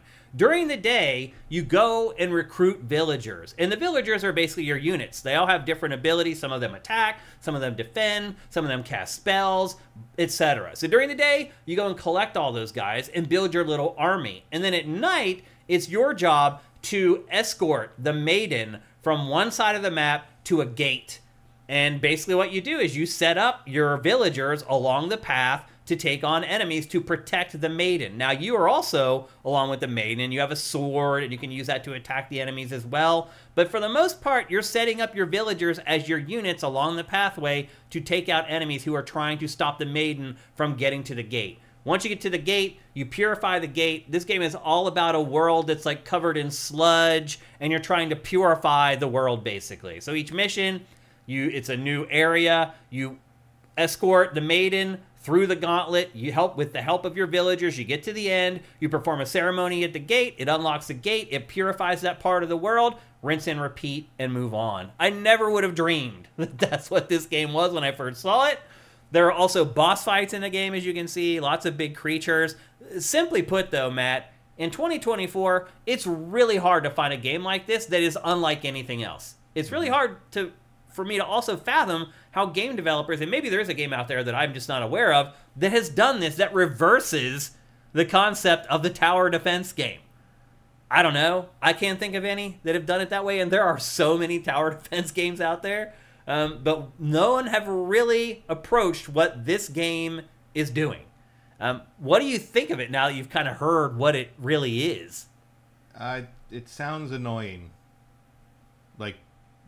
Like, it just. Do you like tower defense? I actually don't know Not that. really. I don't really. I have. don't I, have- do like it. I don't really have an opinion. Yeah. I like a couple of them. Uh, for a while there, I went through a phase where I was loving tower defense. I would play any game I could get my hands on. there was one I played for a while, but I can't remember the name of it, so that should tell you about how much impact that. Tells you all you need to know. Yeah. Um, I don't know. Like it, it, it feels like it combines the annoying part of tower defense with the annoying part of character action games. it may not be ideal for you. I can see that. Um, I do like though how it is split up into the two stages where the Yeah. daytime's your prep and you get ready for the big battles, and then at nighttime it all plays out and you see if everything that you did and all the plans that you made and all the villagers that you recruited paid off, so to it speak. It is an interesting idea. It's just I don't, I don't, I don't think it's for me. Yeah.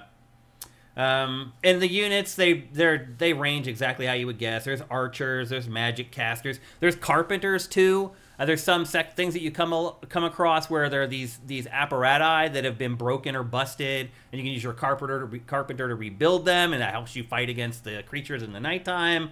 Um, as I said, there are special attacks in the game. The elite character is named So S O H. Um, and eventually, the, the, he does he does get special attacks. You can always adjust the villager.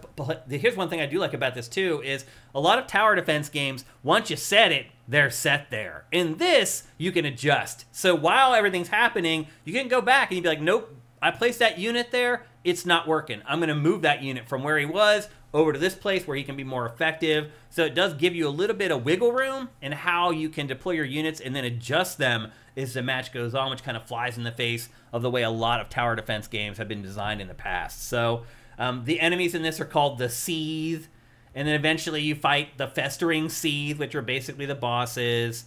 Um, but yeah, that's pretty much how the game works. It is coming to. I think it might be an Xbox console exclusive, Matt.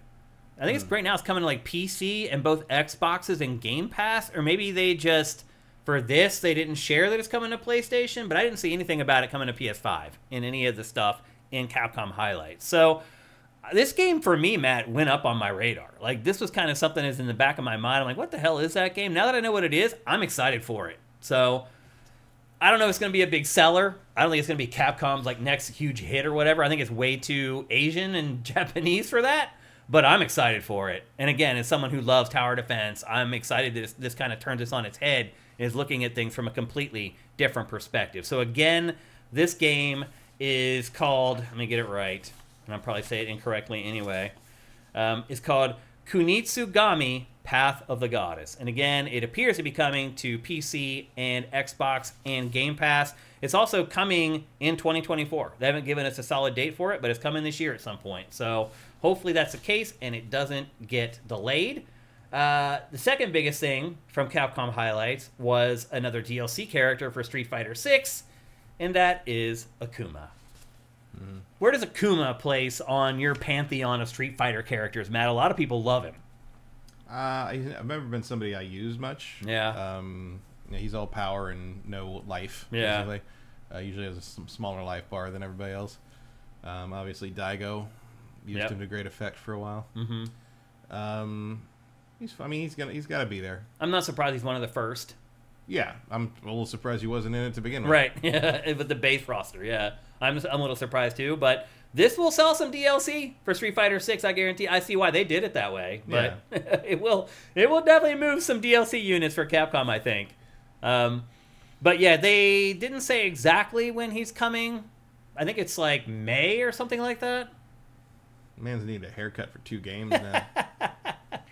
Um, but anyway, so that is the next DLC character for Street Fighter 6, and then just a couple other things that they showed. Um, they they showed Monster Hunter Stories 1 and 2. So Mm-hmm. we talked about Monster Hunter Stories 1, which was a 3DS and mobile game that's now coming to consoles. They showed that again, and that's all happening.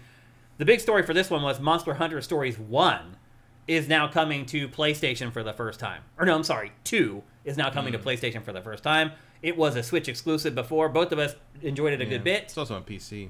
That's right. It is on PC, and now it's coming to PlayStation 4. So Monster Hunter Stories 1, we talked about that already a couple weeks ago. Now 2 is coming to PlayStation 4. Um, and then they showed Exoprimal Season 4 DLC. There's like a Mega Man mashup happening there.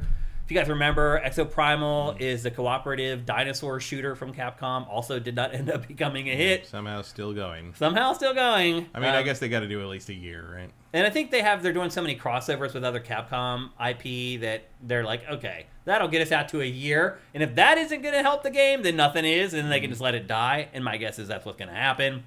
Um, and then the final thing was they celebrated the six month anniversary of Monster Hunter Now, which is the mobile version of mm-hmm. Monster Hunter. They didn't show anything from the new one, which is what Monster Hunter Rise. I kind of thought we might get a look at that, but they didn't show anything else. We still just have Rise already out. Is I thought Rise is the new one. That Rise is the one after World. There isn't one after World.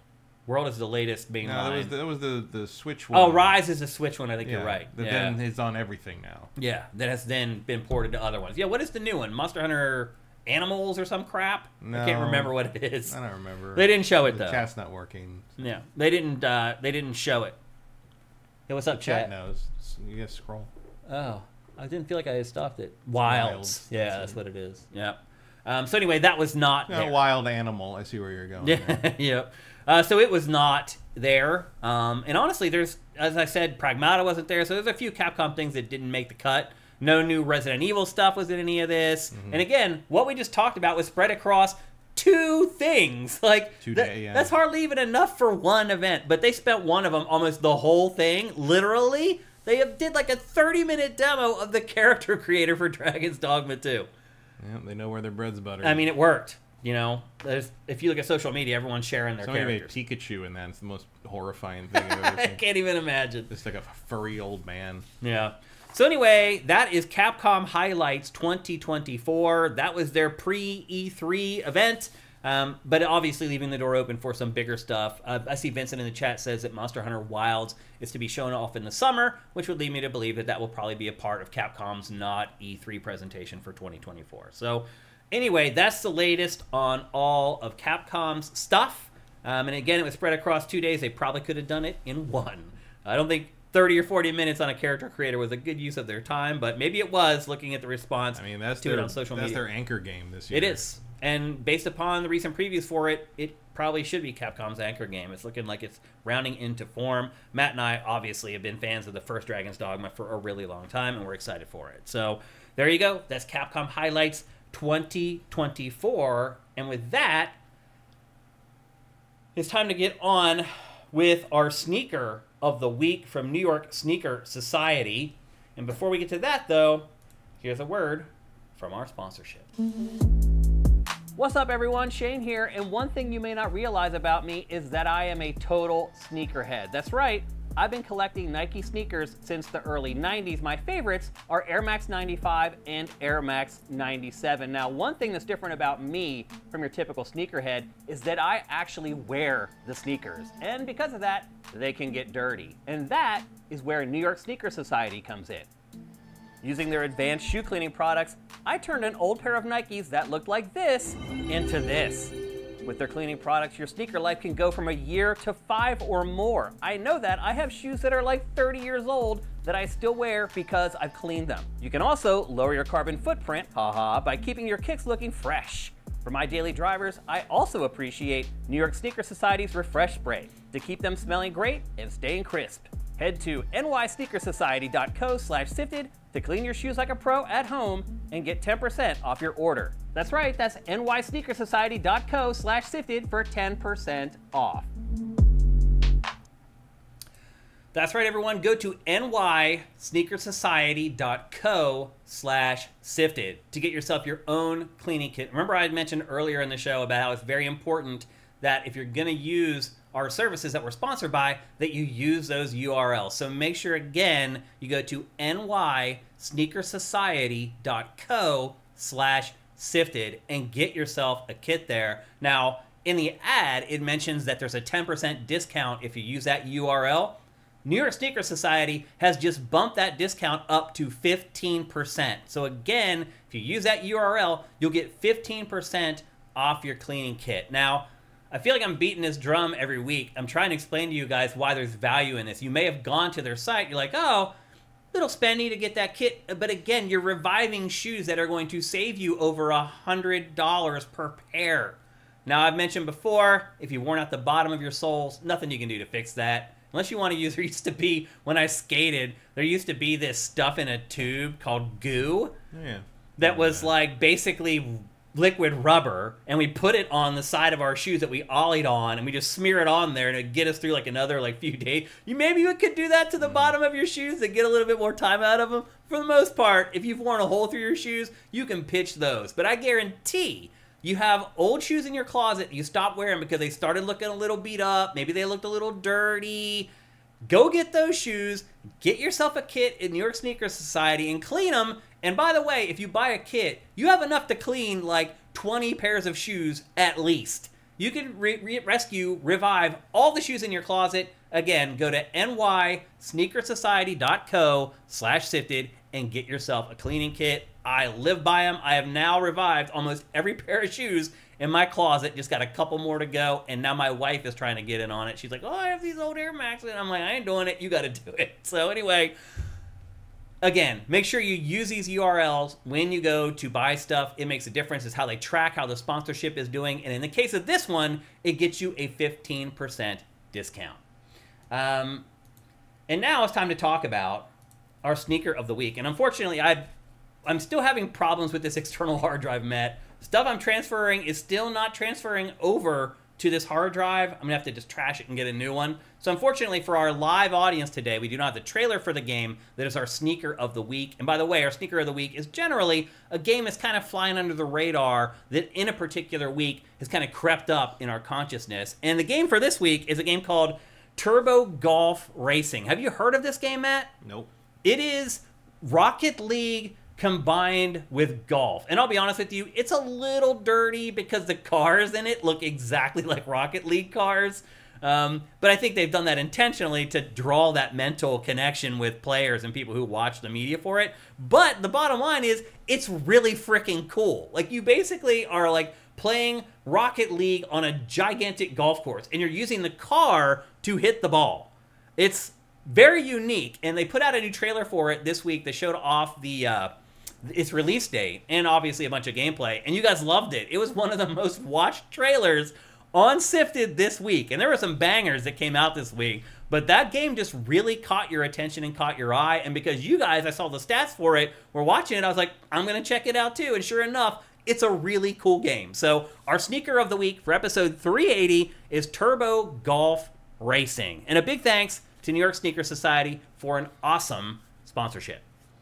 And with that, it's time to get to our last topic of Game Face 380. We're going to talk about Contra Operation. They're pronouncing it Galaga, but I keep calling it Galuga. Mm-hmm. Do you remember what the right pronunciation of it is? Is it Galaga? Galaga would probably be more correct because Galuga would be a very feminine way of saying that word. Okay.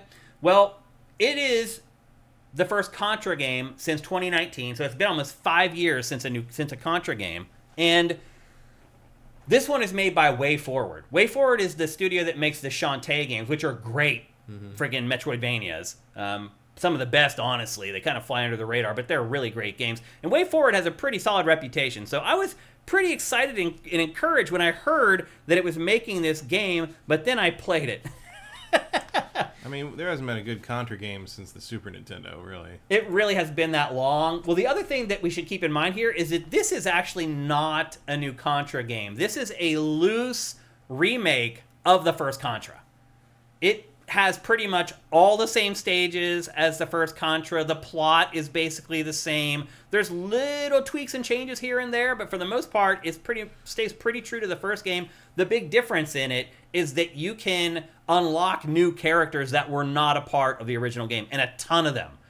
And here's the thing that's important because those new characters are what make this game feel like a new game. If you play through it as just the two dudes, it feels like a much better looking, smoother playing Contra, the original Contra.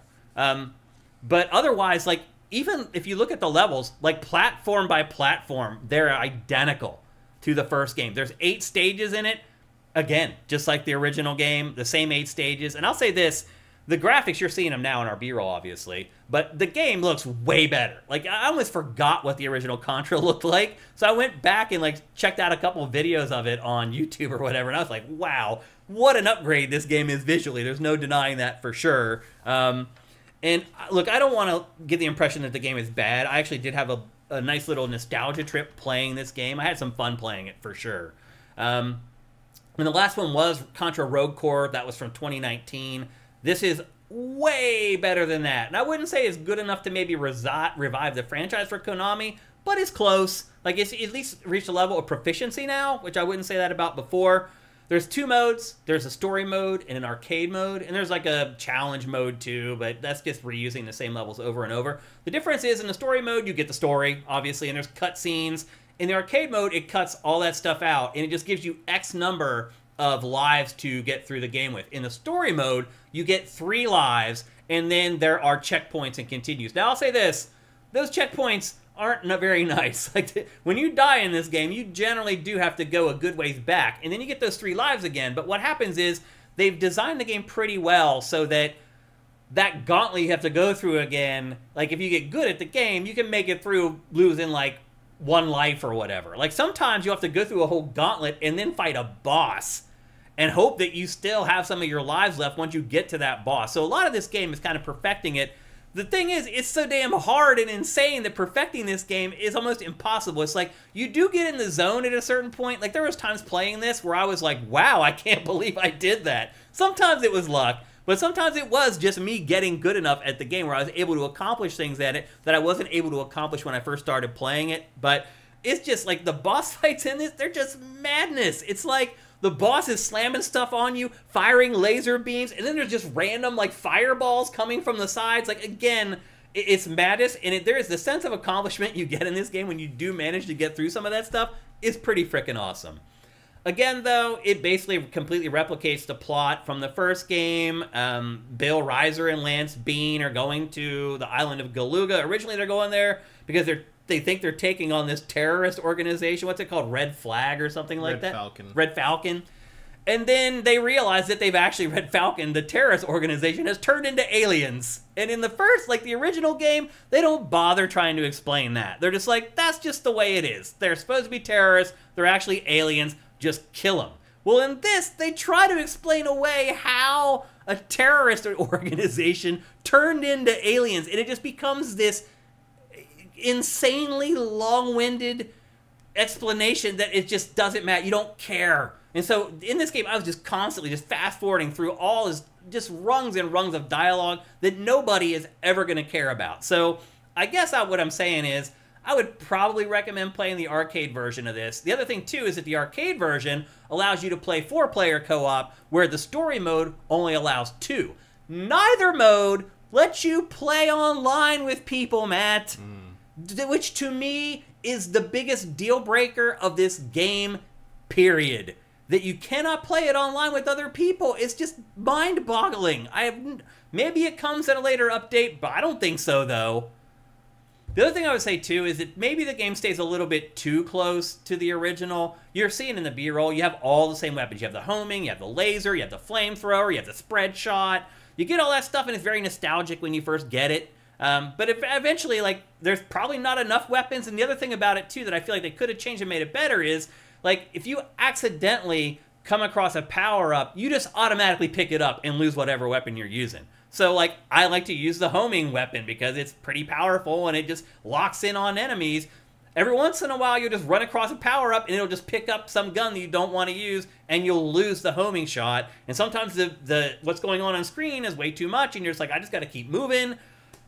Again, a part of the original Contra. No reason why you couldn't have fixed it here and made it a little more user friendly, given it a little bit of a quality of life update.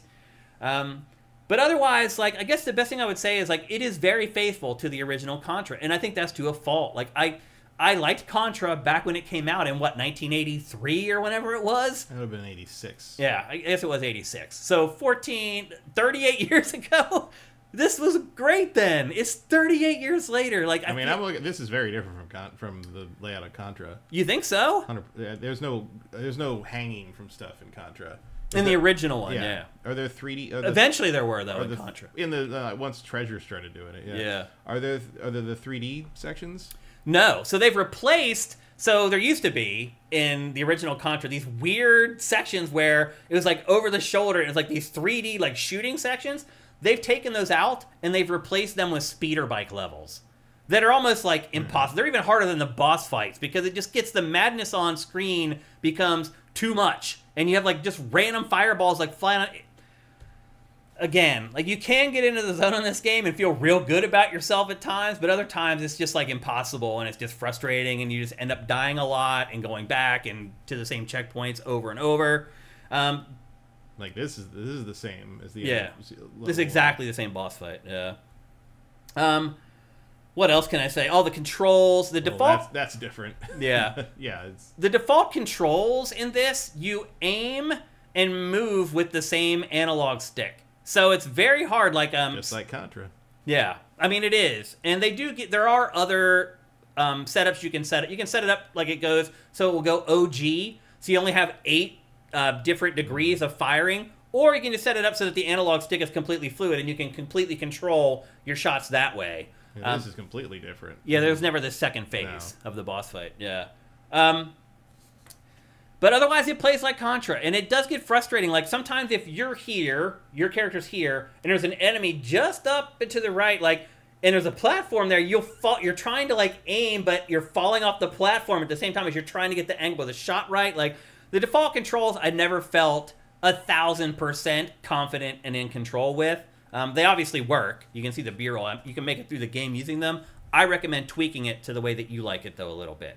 Um, you also have you get a double jump, which wasn't a part of the original Contra. You also get special abilities. You can basically sacrifice your gun to do a crazy powerful attack, and a lot of there's a strategy in that of when you need to do it, when it's best to pull it out. I tend to save it for a boss fight, provided I have the second weapon, which is also a new feature that you can carry two. You can swap with R1 anytime you want.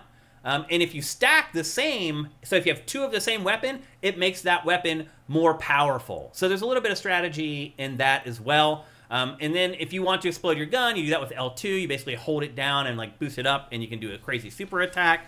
So there are yeah, there are tweaks to it. I still felt mostly like I was playing the same game though. It has been 30 some years since I really was good at Contra, so my memory's probably a little fuzzy on it. But um, otherwise, that's pretty much it. Again, the new characters are what make it feel new, and there's a ton. Like there's like eight different characters that you can unlock through the course of the game. And the other thing I should mention too, you can only unlock the new characters when you play the story mode. If you play the arcade mode, you're not unlocking the new characters, which might make people say, well, then maybe I should play the story mode. I could understand that perspective. Because again, these new characters are what make the game feel different from the old Contra more than anything else because they they have completely different abilities. Like some of them can fly, like the weapons that they get are different. They have different abilities to dash and things like that.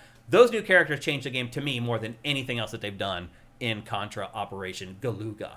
Um, the plot's stupid. It's inane. Eventually, they try to explain how terrorists turn into aliens. Just ignore it. Um, in a story mode, you're gonna have to fast forward through a lot of that stuff. Um, but I guess the question now becomes: Would should you buy it? It's forty dollars. It's available for literally every platform. Forty dollars to me is way too steep. The other thing too is this game isn't very long. There's eight stages. You can probably finish it in like three hours. So to me, this game should have been like 20, 25 bucks. They're trying to get 40 out of it. I would not pay that. I would wait till it drops to 20 or 25 bucks. I think that's when you're going to get your money's worth out of this game. Matt, having looked at the B-roll, do you have any questions or comments about it? Nope. No? Looks like more Contra crap. Do you have any interest in Contra at this point in time? Not really. I mean, it was never that compelling a game. Yeah. Really. It's certainly not in the terms of like. I mean, it was a it was one of the top side-scrolling shooter games of you know run and jump games of the time, but Mm-hmm. it's like it's not like anybody was like enamored with the setting of Contra. Yeah. most people don't even know they go, those guys have names. Right. I didn't know what their names were until I played this one. Mm. I looked it up, and I was like, I and I realized I never knew what their names were at all. Also, uh, uh, Contra Four is or Three is better. The the treasure game on Super Nintendo. That's generally what people believe. Yeah. What's the name of that again? Contra Three, the Alien Wars. Alien Wars. Yeah. I remember when I first started at GameSpot, I got in a huge discussion with Ryan McDonald about the best Contra, and he was a huge fan of Alien Wars. Man, he would he would die on that hill to say I the it's least. either the first one or that one, and really the the third one is has a lot more happening. Yeah. You know, it's kind of like the Super Nintendo's Gunstar Heroes. Mm-hmm. Yep. So anyway, Does the Konami code do anything? I didn't try it actually. I will when I go home though. I didn't even give it a go. Maybe it gives you infinite lives. That would be nice. Zed Saber asked that too. Can you use the Konami code? I didn't try it. I should have.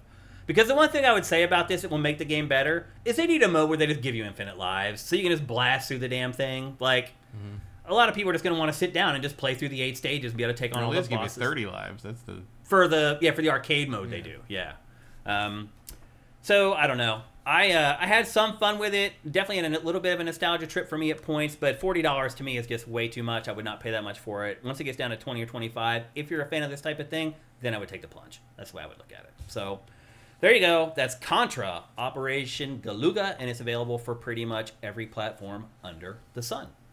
And with that it's time for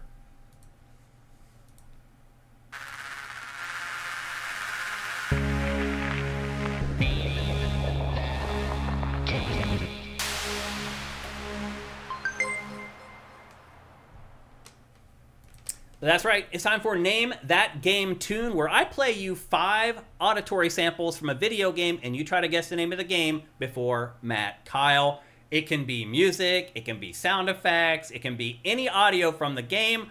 I basically pour through a bunch of footage from the games and I try to find iconic sound effects um, to lead you guys along until hopefully somebody guesses the name of the game. A few things before we get going. Um, you can only win once per year. So you've already won this year. Don't play. Let somebody else win it.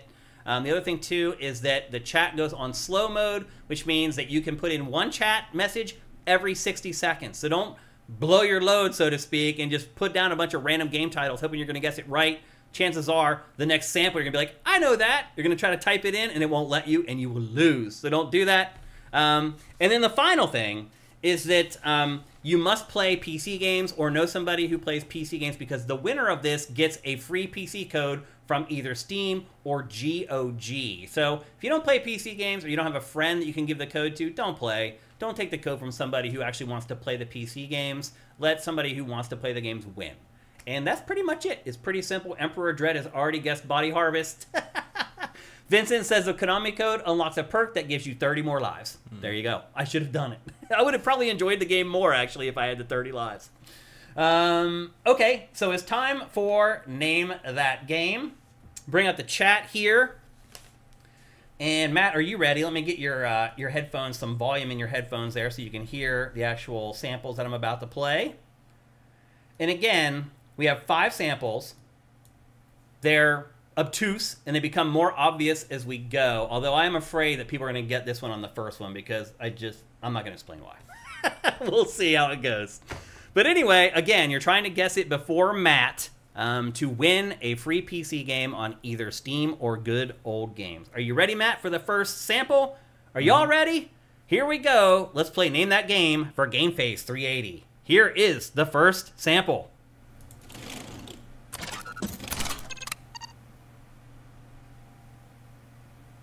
Matt's his eyes are lighting up. He might know.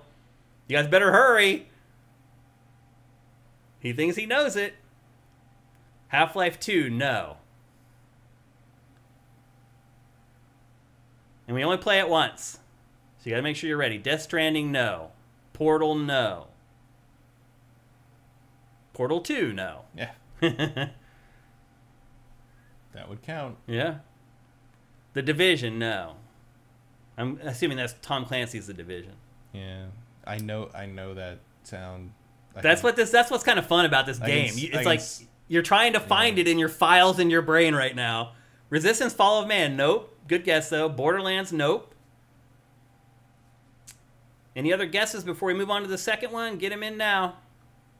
but they may not want to because they're like, "Oh, here's the second one. I won't be able to mm-hmm. put in a chat." All right, let's move on to the second one. I'm I'm happy that we at least made it to the second one on this. Here it comes. Three, two, one.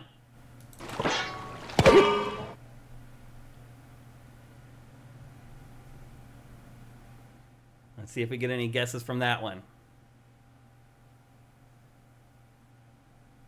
PUBG, no.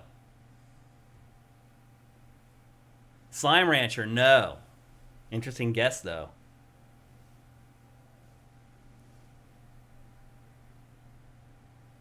Nothing, Matt? No. Splatoon, no. Horizon, no. We just did Horizon. It was like mm-hmm. this two episodes ago. We did Horizon Forbidden West. But C Note, maybe. Maybe you missed that one. Any other guesses? People are being conservative. They don't want to guess because they might be screwed. Cartoon Tom says he knows it. Cartoon Tom, by the way, is a savant at mm. this. It's not RoboCop, is it? Not RoboCop. Nope. Ratchet and Clank. Nope. Okay. Fortnite. Nope. Any more last second guesses before we go to the third one? And I'm really excited we made it to the third one. Okay. Here we go. Here's the third one. Fall Guys, no. Here's the third one. In three, two, one.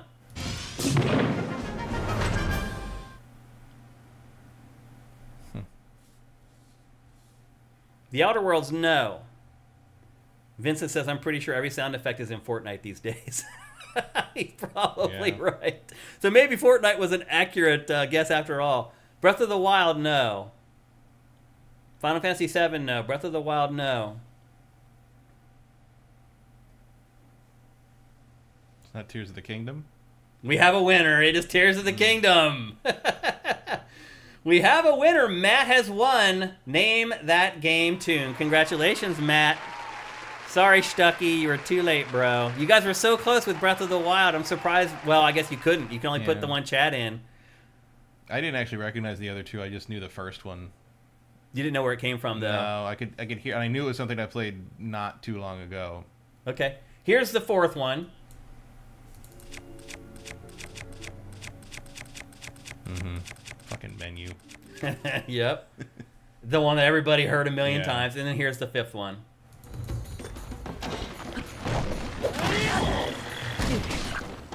Yeah, Link. Yep. Well, there you go. Matt beat your asses.